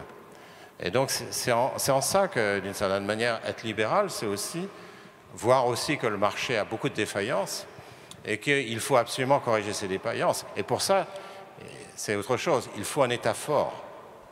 Il ne faut pas un État qui soit capturé par les lobbies. Il faut, un État fort qui ne veut pas dire omniprésent. En France, on a tendance à penser qu'un État fort, c'est un État omniprésent. Ce n'est pas du tout ça. Un État fort, c'est un État qui sait résister aux lobbies, sait imposer des règles, intelligentes et justes, et euh, et voit son rôle comme un rôle d'arbitre dans la société. Essaie de nouveau, il se met derrière le voile d'ignorance et il essaie de comprendre comment la société devrait fonctionner. On prend une question, excusez-moi, je crois qu'il y avait quelqu'un qui attendait ici, une question là et après on reviendra là. Bonjour, je m'appelle Malika Nambux, je viens du lycée Olympe de Gouges et j'aimerais vous poser une, une question. Vous avez dit que euh, la démocratie ne pouvait pas euh, bien marcher si l'accès à la connaissance n'allait que aux experts. Et ensuite, euh, vous avez parlé de croyances motivées. Mais du coup, quelles seraient les solutions pour, pour lutter contre cette désinformation au sein de nos démocraties? Très très bonne question. Je pense que d'abord, il faut le dialogue. Et le dialogue, c'est le respect. C'est-à-dire qu'il faut qu'on arrive collectivement à échanger des idées et à essayer d'écouter les autres. Euh, ça fait partie d'un système démocratique, de même que d'ailleurs ça fait partie de l'éducation, que ce soit au lycée ou, à l'université.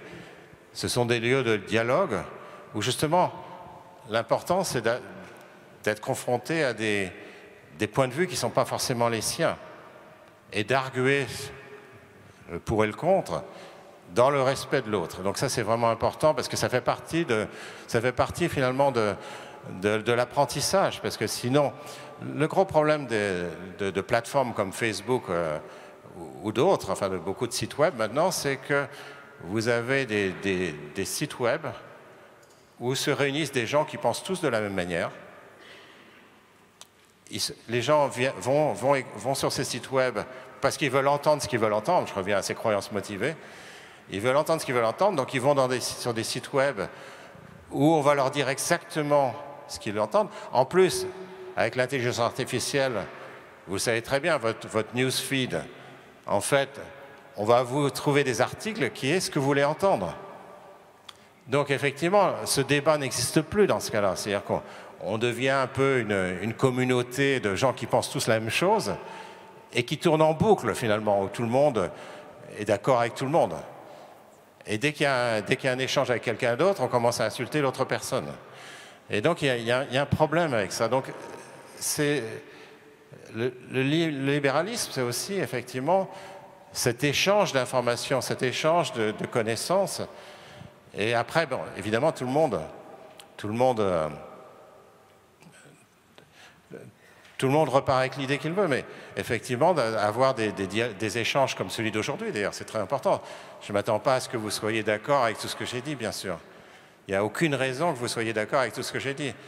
Mais à partir du moment où il y a cet échange où vous m'avez écouté, c'est extraordinaire, je pense. Et donc, c'est vraiment, vraiment très important d'avoir ce, cette question. Maintenant, c'est à nous aussi hein, de, sauver nos démocraties. C'est à nous de comprendre qu'il y, y, a des personnes qui euh, se complairaient très bien sans, les règles démocratiques classiques. Sont pas toujours, comme je le disais toujours, c'est pas facile, toujours facile à venir voir. Parce qu'au début, ces personnes-là, évidemment, se, se, cachent derrière un idéal démocratique souvent. Mais on, voit très bien qu'après, cet idéal démocratique s'en va et devient très rapidement une autocratie. Le fait que dans le monde, ces démocraties sont en train de, rétrécir est un peu inquiétant, mais encore une fois, il y a, des bonnes nouvelles d'une certaine manière. Je disais toujours, ben, comme les États-Unis, un des grands moments des États-Unis, ça a été le Watergate pour moi. Alors, vous vous souvenez pas du Watergate, mais quand j'avais votre âge, j'ai vécu le Watergate, où, Nixon a été, a été euh, chassé du pouvoir pour quelque chose qui était beaucoup plus faible que, tout ce qu'a fait Trump. Enfin, qui était grave, hein, qui était grave. Mais, mais pour moi, c'était une victoire de la démocratie. Ce Watergate, c'était en fait une très très bonne nouvelle. Euh, voilà, donc il y a des moments comme ça, et le fait que, que finalement, euh, on voit que les, États-Unis ont été un peu résilients, même si euh, toutes les nouvelles ne sont pas bonnes, malheureusement. On voit des pays qui sont quand même résilients, qui arrivent à s'en sortir, mais on voit beaucoup d'autres pays qui ne s'en sortent pas. Donc c'est à vous de faire en sorte, effectivement, que, que ce genre de personnes n'arrivent pas au, pouvoir. Mais pour ça, il faut qu'il y, ait un dialogue. Si on a ces, ces, communautés qui sont des caisses de résonance, euh, en anglais on appelle ça echo chambers, euh, vous avez il n'y a, plus de dialogue dans la société, il n'y a plus de partage euh, d'informations et de connaissances. Et ça, c'est un petit peu grave. Après, l'éducation est cruciale. Mais l'éducation, elle a un impact effectivement très différé. C'est-à-dire qu'aujourd'hui, on dépend de l'éducation d'il y a 20, 30, 40 ans. Euh, cette question d'éducation est très importante. Donc, euh, il, s'agirait aussi de, je pense, au niveau, au niveau citoyen, par exemple d'avoir aussi un apprentissage de ce que c'est qu'un fait, de ce que c'est qu'une science. Je citais tout à l'heure la différence entre une corrélation et une causalité. C'est très important pour l'économie, mais c'est très important pour toutes les sciences humaines et sociales, c'est important pour la médecine. Si vous retournez à, il y a un siècle et demi, quand Pasteur a fait ses expériences sur les vaccins, ben il, a, compris qu'il fallait des expériences, ce qu'on appelle randomisées, mettre 25 25 moutons d'un côté à qui on ne donnait pas le vaccin et 25 moutons d'un autre côté, tirés de façon aléatoire, à qui on donnait le vaccin. Voilà comment on établit une science, voilà comment on établit un fait.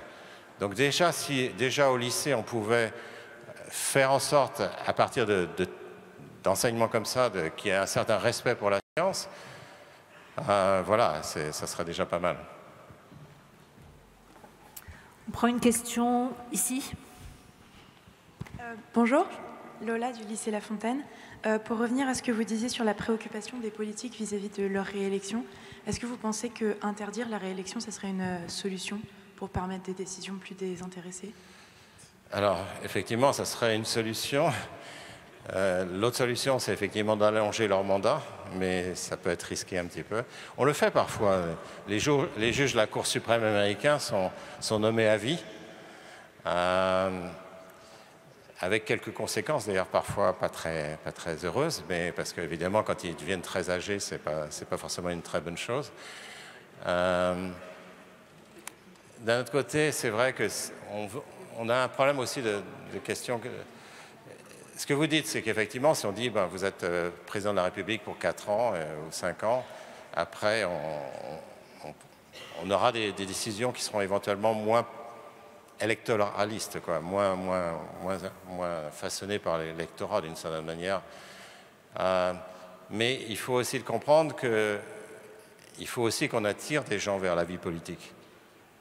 Crois qu'on a de plus en plus de mal d'attirer des gens de haut niveau vers la vie politique.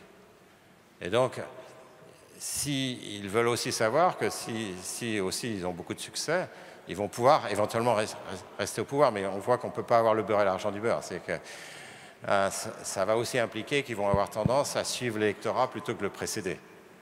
Et donc, euh, c'est un, peu difficulté. Ça, votre question est excellente et je n'ai absolument pas la réponse. C'est-à-dire que c'est une question qui, qui, obsède les gens depuis des siècles, en fait, depuis, euh, depuis la démocratie. C'est Comment on fait pour que les gens représentent l'intérêt, mais le vrai intérêt, pas forcément l'intérêt perçu, l'intérêt des citoyens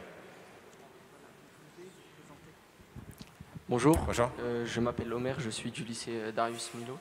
Tout à l'heure, vous avez dit euh, que pour préserver l'environnement, il fallait faire des sacrifices, qu'on ne pouvait pas s'enrichir en, en, préservant l'environnement. Donc ma question est la suivante. Quelles actions concrètes et innovantes peuvent être mises en place pour favoriser la compétitivité des entreprises tout en assurant la préservation de l'environnement? Alors, vous avez raison, c'est une question. Donc, dans le court terme, comme je le disais, si on veut garder la compétitivité des entreprises tout en prenant des mesures qui protègent l'environnement, il faut, il faut accepter le commerce essentiellement avec d'autres pays qui eux-mêmes protègent l'environnement. Parce que sinon, il y aura une délocalisation soit des entreprises, soit, à travers les importations de biens, qui, auront, pollué la, planète. Donc ça, c'est dans, le court terme. Après, je pense qu'il va falloir... Euh, comme je le disais, faire de la recherche et développement verte pour donner aux entreprises effectivement des technologies qui leur permettent d'être compétitives sans, polluer. Euh, donc ça, ça serait, serait quelque chose. Et d'ailleurs, plus que ça, aujourd'hui on a ce problème que les pays pauvres, je, le vois bien, j'étais il n'y a pas longtemps en Inde et au Bangladesh, j'ai parlé avec des officiels, des, responsables, et évidemment, ils nous disent, mais écoutez, vous, vous avez pollué pendant deux siècles, et euh, nous, on est pauvres, et on veut se développer, ce qui est tout à fait légitime. Mais d'un autre côté, si l'Inde, le Bangladesh, le Brésil, la Chine, etc., euh, se, se, développent avec des technologies comme le charbon, ça veut dire que notre planète est condamnée, mais totalement condamnée. Donc il faut aussi des mesures coercitives ou un prix du carbone dans ces pays-là, pas seulement dans nos pays, parce que la, croissance de, la pollution va se passer beaucoup dans les pays émergents. Donc il va falloir qu'on arrive à les compenser pour ça. Et une façon de les compenser, c'est de leur donner de l'argent. Une autre façon de les compenser, c'est de leur donner des technologies, l'accès à des technologies vertes. Et pour ça, il faut qu'on ait les technologies vertes. Donc il faut faire de la recherche et développement qui, qui fasse émerger ces technologies vertes.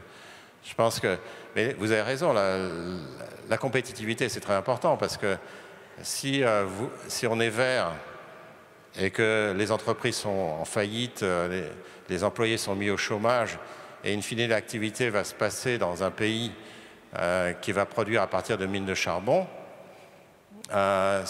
on n'aura pas gagné grand-chose, on aura détruit notre industrie et on n'aura pas sauvé la planète pour autant. Donc il faut faire, faire extrêmement attention à la compétitivité euh, si on a des politiques vertes. Alors, il y a une question là et après on prendra euh, la question au troisième rang ici. Oui, bonjour à tous. Euh, premièrement, j'aimerais vous remercier pour votre temps et la conférence qui a été très... Je me présente? Oui, je m'appelle Jawad, je suis du lycée Pauline Roland dans le 9-4. Et oui, j'aimerais vous remercier d'abord pour votre temps et pour cette conférence très enrichissante, très intéressante. Euh, c'est une question peut-être un peu moins complexe que celle des autres, mais tout à l'heure vous avez mentionné euh, l'intelligence artificielle et je suis assez curieux de savoir en quoi ça va révolutionner peut-être le monde euh, économique en général. moins complexe, vous avez dit?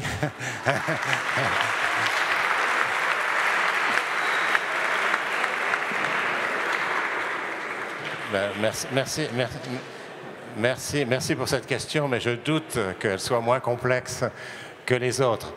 Euh, oui, l'intelligence artificielle. Il y a un grand débat actuellement. Le progrès technologique, il y en a depuis deux siècles. Je ne sais pas si vous vous souvenez, au début du 19e siècle, des ouvriers très spécialisés, les ludites, qui ont détruit leurs machines parce qu'elles étaient remplacées par des, métiers à tisser. Euh, donc c'était il y a plus de deux siècles. Et chaque révolution technologique, il y a toujours des gens qui disent mais il n'y aura plus d'emploi. Donc c'est toujours un peu... Même Keynes s'est trompé d'ailleurs là-dessus.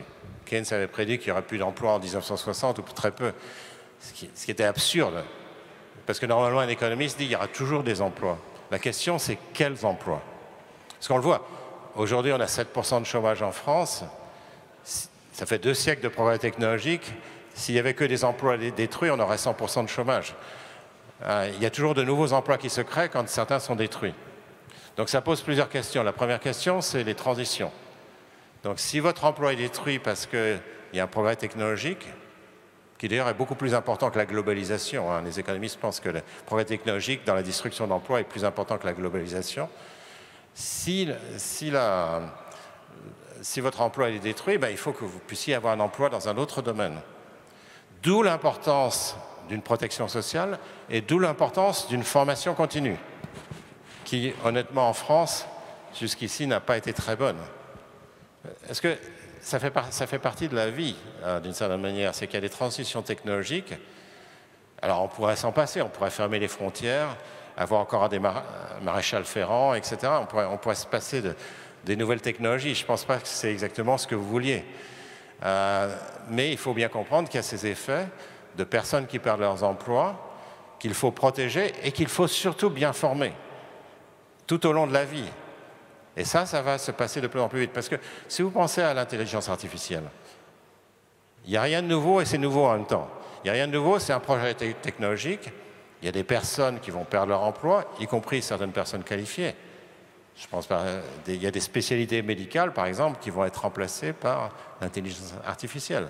Des gens incroyablement qualifiés. Donc, c'est important à comprendre ça.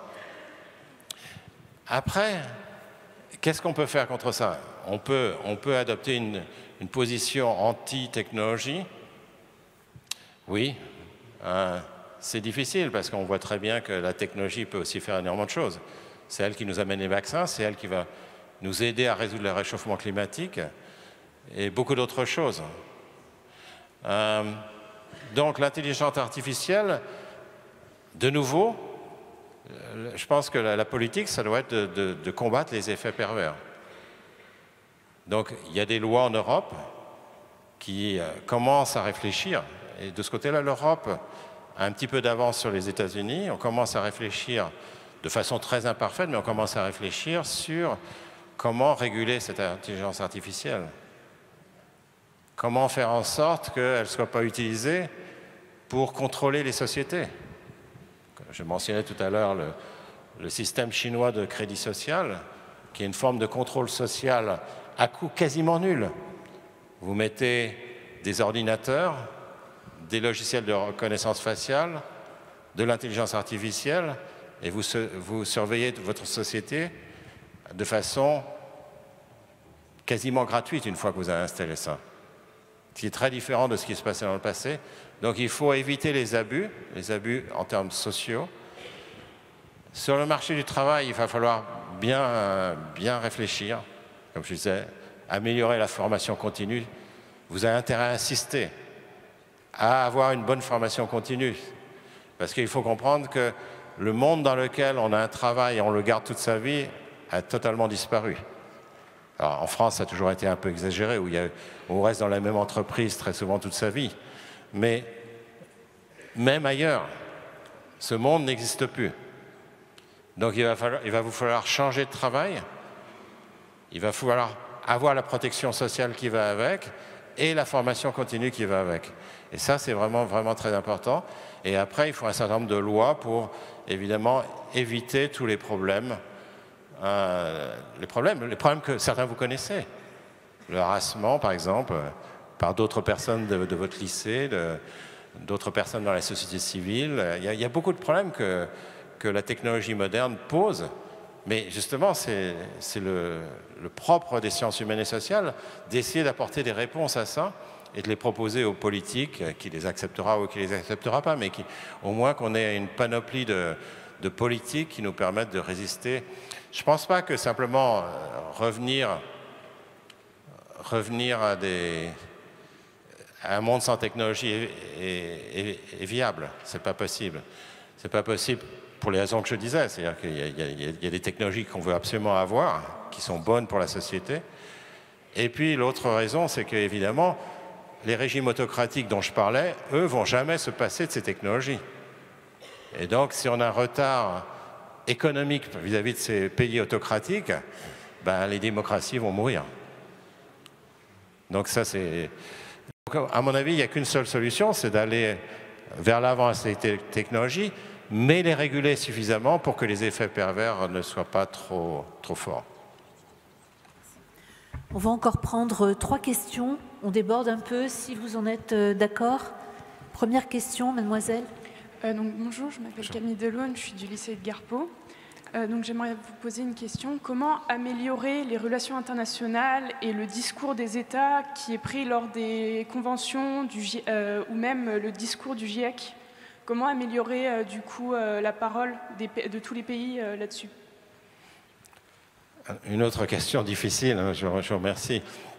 Alors le GIEC, normalement, est quand même composé en partie de scientifiques, donc ça c'est une, bonne chose. Et c'est très important justement qu'il y ait des organismes qui soient au moins un peu indépendants de la politique, qui puissent exprimer les, avis des experts de la climatologie dans, dans le cas particulier. Et c'est vraiment très important pour essayer de, forger un consensus. Ceci dit, après, c'est compliqué parce que si vous, si vous, réfléchissez au problème du réchauffement climatique, il y, a deux, il y a deux grandes causes. La première grande la première raison, bah, c'est l'égoïsme de ma génération, soyons, clairs. Ma génération est totalement égoïste vis-à-vis de la vôtre, et encore plus vis-à-vis de la, génération suivante, celle de vos enfants. Donc, euh, il faut bien comprendre que la première raison, c'est l'égoïsme de ma génération vis-à-vis des générations futures. La deuxième raison, c'est l'éclatement des pays. C'est-à-dire que si vous regardez, le, le problème, c'est qu'il y a 200 pays. Et donc chaque pays joue son jeu et espère que les autres vont faire les efforts. Je compare avec euh, une loi qui est parue, une bipartisane, qui est parue aux États-Unis en 1990 sur le SO2. Le SO2 et le NOx, c'est les pluies acides. Vous vous souvenez peut-être pas, mais ça, crée finalement la dévastation des forêts, les pluies acides et tout ça. Il y a une loi qui a, qui a créé des, des droits d'émission négociables qui en cinq ans, donc on, avait, on a fixé un nombre de permis qui réduisait, correspondant à la moitié de la pollution de 1985, je ne me souviens plus exactement, et on a dit, voilà, à partir de maintenant, vous avez ce système de permis, on a réduit la pollution de 50% en cinq ans. Mais, alors ça n'a pas été facile, il y a eu des compromis qui se sont passés, parce que vous pensez bien que ceux qui voulaient réduire la pollution les plus acides, c'était la côte Est et la Californie, et les États du Midwest qui utilisaient des charbons qui envoyaient ces pluies acides ne voulaient pas. Comme aujourd'hui, les pays qui utilisent le charbon ou du pétrole ne veulent pas évidemment d'accord. C'est exactement la même chose. Mais, au moins, comme on n'avait qu'un seul pays, il y a pu y avoir un accord au sein du pays. Alors qu'en 2014, il y a eu effectivement la COP 21 à Paris. Et dans cette COP 21, il y a eu des grandes déclarations comme quoi, en gros, on avait fait un progrès énorme vers, la, résolution du réchauffement climatique. Je me souviens, c'était un samedi. J'ai écrit un éditorial immédiatement en disant, mais arrêtez, arrêtez. Euh, il ne va pas se passer grand-chose avec ce que vous avez décidé. Parce que, évidemment, et j'ai regardé un petit peu, chaque chef d'État est rentré de Paris en disant, oh, on a fait des progrès merveilleux, mais personne n'a dit, maintenant il va falloir qu'on se retrouve les manches. Donc il n'y a aucun chef d'État qui a dit, il va falloir qu'on se retrouve les manches. Donc là, là c'était une preuve éclatante qu'il y avait un petit peu de, greenwashing derrière. derrière, Alors, honnêtement, de nouveau, je ne veux pas complètement attaquer les politiques parce que obtenir un accord, c'est pas facile. Et obtenir un accord quand vous voulez 200 signatures, c'est même impossible. Imaginez que l'Arabie saoudite et le Venezuela, qui sont des producteurs de pétrole, disent maintenant on va, prendre des mesures qui vont empêcher la consommation de pétrole. Ça ne marchera jamais. Donc il faut procéder de façon autre, celle-là. D'où, euh, je ne suis pas politologue, mais d'où l'importance d'une conception de la science politique qui, qui permette d'améliorer les choses. Donc il y a deux raisons en fait au réchauffement climatique. Il y a l'égoïsme de ma génération, mais il y a aussi il y a aussi cet éclatement des pays qui rend difficile finalement un accord qui serait meilleur au sens de Pareto, comme on dit en jargon de l'économie, mais qui, améliorerait finalement le bien-être de tous les pays. Parce qu'à partir du moment où il y a un gâteau qui se crée, c'est-à-dire qu'on a une, planète qui est sauvée du réchauffement climatique, on peut partager le gâteau d'une manière ou d'une autre. Mais pour ça, il faut des mécanismes de compensation, il faut des tas de choses. Et pour moi, la méthode qui est utilisée est utile parce qu'elle permet de créer ce consensus un peu par rapport à Rio, c'est vrai qu'il y avait un peu plus de consensus, mais ça ne suffira jamais. Bonjour. Et eh oui, pardon, deux questions simultanées. Une ici et après on prend celle-là. Euh, Adrien, au lycée de Garpov, vous avez abordé tout à l'heure euh, le rôle de l'État et des entreprises, dans, notamment dans votre exemple des, du réchauffement climatique. Est-ce que vous pensez pour vous que le bien commun peut être perçu comme finalité de l'entreprise? Alors, c'est une, question très complexe. C'est effectivement, on voudrait que les entreprises se comportent mieux, mais ce n'est pas toujours facile pour elles. C'est-à-dire que si vous passez à un moyen de production plus vert, vous perdez des parts de marché par rapport plus vert, je veux dire plus coûteux du coup. Parce que sinon on le ferait, si ce n'était pas plus coûteux, on, aurait déjà fait la transition vers les énergies vertes. Ça veut dire qu'on est en, handicap concurrentiel vis-à-vis des, autres entreprises. Donc il y, a, quand même un mouvement vers la société, la responsabilité sociale des entreprises, mais il faut qu'il y ait une certaine coordination quand même, parce que sinon, c'est très, très difficile de, se démarquer et dire moi tout seul, je vais être vert. C'est exactement le même problème que la taxe en frontières. C'est-à-dire que si la France, par exemple, prend des mesures vertes et c'est la seule mesure, ben, ce qui va se passer, c'est que les, entreprises vont se délocaliser à l'étranger et qu'in fine, on ne va pas réduire finalement les émissions de, CO2. Donc, oui à la responsabilité sociale des entreprises, il faut faire très attention parce qu'il y a beaucoup de greenwashing, énormément de greenwashing dans, la communication des banques, des entreprises et des politiques à ce sujet. Euh, il faut que ces actions aient un impact. Donc, par exemple, je prends, un exemple simple.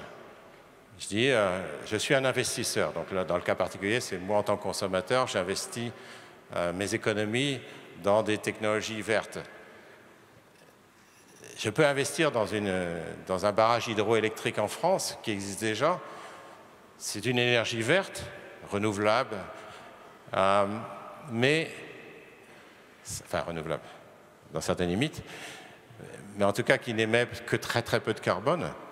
Mais dans la mesure où ce barrage existe déjà, ça ne va pas changer finalement. Ça ne va pas du tout changer la quantité de CO2 qui va être émise dans le pays.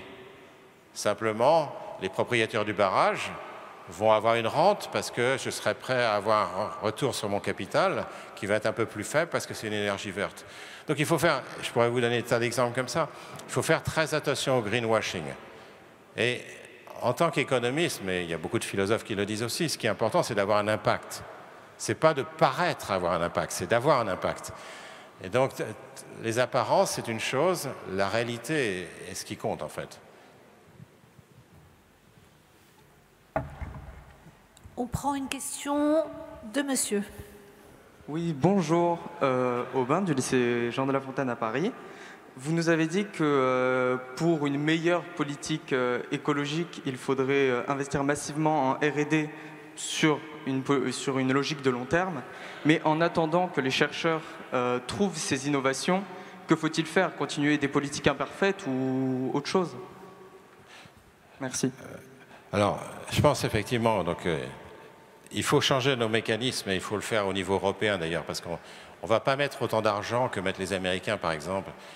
Il, faut avoir des, mécanismes et une bonne gouvernance de, la chose pour la R&D. Mais votre question, c'est pas sur, euh, sur la R&D, c'est qu'est-ce qu'on fait en attendant? Parce qu'effectivement, ces technologies, elles arriveront en 2035, 2040, même peut-être 2050. Euh, ce sont des, produits de long terme. Et donc, euh, il va falloir réfléchir un peu à qu'est-ce qu'on fait en avant. Donc, il faut essayer de dépolluer au maximum. Donc, il y a la, tarte à la crème, il faut développer les transports en commun, il faut... Euh, il, faut tout à je vais vous donner un exemple. Tout à l'heure, il, il faut absolument que je rentre à Toulouse, je ne peux pas faire autrement, je vais prendre l'avion. C'est idiot. Quand je peux prendre le train, je prends le train, mais je vais être obligé de prendre l'avion. Il n'y a pas d'alternative pour aller à Toulouse très rapidement. Donc, euh, pas c'est pas un comportement que j'adore adopter, mais c'est comme ça. Euh, voilà, donc si on avait un TGV pour Toulouse, ben, peut-être que j'aurais pu arriver à temps à Toulouse, etc. Donc c'est une question. Euh, c'est une question importante, de faire en sorte que les gens puissent avoir des alternatives déjà. Donc ça, c'est évident. Alors ça coûte cher, hein.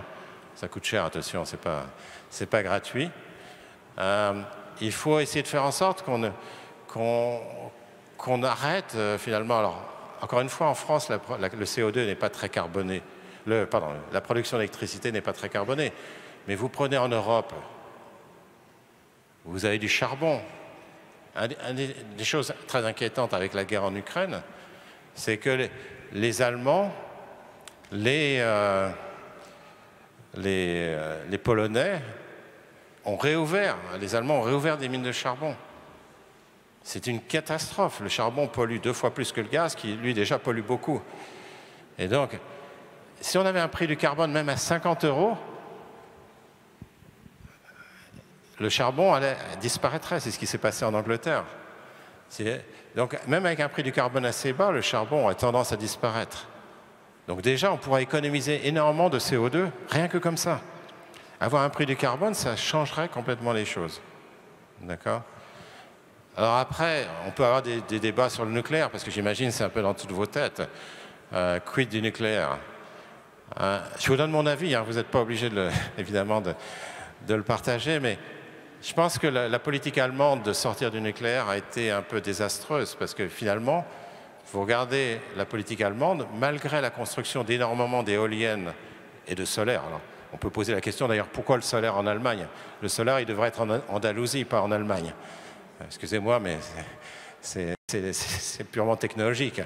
Donc, euh, en, faisant ça et en sortant de... du coup, ils, ils utilisent le gaz russe, plus, enfin plus maintenant, mais ils utilisent du gaz et du charbon. Du coup, les Allemands polluent beaucoup plus que les Français quand ils produisent de l'électricité. Donc, on peut avoir des débats sur le nucléaire, parce que le nucléaire a un certain nombre d'inconvénients également, mais dans la circonstance actuelle, étant donné ce qui se passe pour le climat, je pense que l'abandon du nucléaire serait une grave erreur, parce que ça veut dire que les technologies alternatives euh, qui, mettront très longtemps à être développées, parce que vous savez, la, question, le, solaire et l'éolien en France restent très lents à développer. Il y en a une toute petite fraction encore, on n'est pas très développé de ce côté-là. On peut faire beaucoup plus, mais on ne fera jamais des quantités énormes. Euh, en fait, ce qu'il faudrait faire sur le solaire, c'est faire du solaire en Andalousie ou en, Afrique du Nord, faire des lignes de haute tension qui amènent cette énergie en, en France. Ça, c'est très très compliqué à faire. Quant à l'éolien, vous voyez bien toutes les, résistances des populations à mettre de l'éolien. Donc ça met très longtemps à faire. Donc dans le court terme, pour moi, que vous soyez un opposant du nucléaire ou, en faveur du nucléaire, peu importe, je pense qu'abandonner le nucléaire serait vraiment un geste anti, euh, qui, serait, qui serait très mauvais pour le climat. Il y a une question ici, ce sera la dernière. Allez-y. Alors, euh, bonjour monsieur. Euh, moi je suis euh, Tobias, je suis du lycée Gabriel Forest. C'était pour revenir sur le point du libéralisme que vous avez précédemment évoqué. vous avez du coup évoqué le fait que le libéralisme, les gens ou les médias avaient une conception faussée de ce concept économique. Et du coup, je voulais vous poser la question suivante. Quel a été le régime politique ou alors le pays ayant le mieux respecté le libéralisme au sens strict du terme et comment, si ça existe, a-t-il euh, pu arriver à, respecter le libéralisme? Merci. Je vous remercie. Là, c'est une, autre question.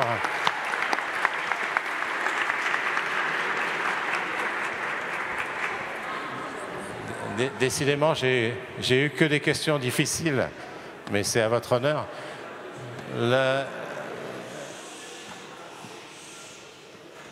C'est difficile de donner des bons points euh, à un pays ou à un autre, mais c'est vrai que quand on regarde des pays comme les pays scandinaves, on a des environnements où finalement on a réussi à concilier un vrai marché avec aussi une protection sociale, avec un investissement dans l'éducation, avec un certain nombre de choses, avec une conscience écologique. Euh, est-ce que ça va durer? Je n'en sais rien. Euh, mais c'est vrai que là, on a, des exemples finalement de pays euh, qui... On, a, des cas comme les États-Unis où, le marché a très bien marché, mais où la protection sociale a été complètement négligée, oubliée, avec les conséquences qu'on observe maintenant. Euh, on a l'Europe du Sud qui, l'ensemble, s'est montrée assez un peu prévoyante pour l'avenir, n'a pas suffisamment investi pour l'avenir.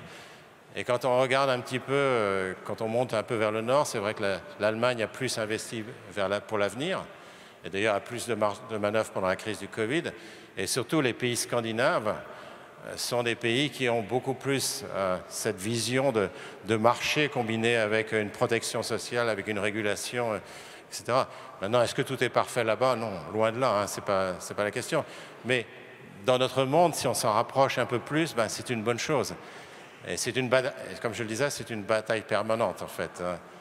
Euh, voilà, et, cette bataille, c'est vous qui allez la jouer.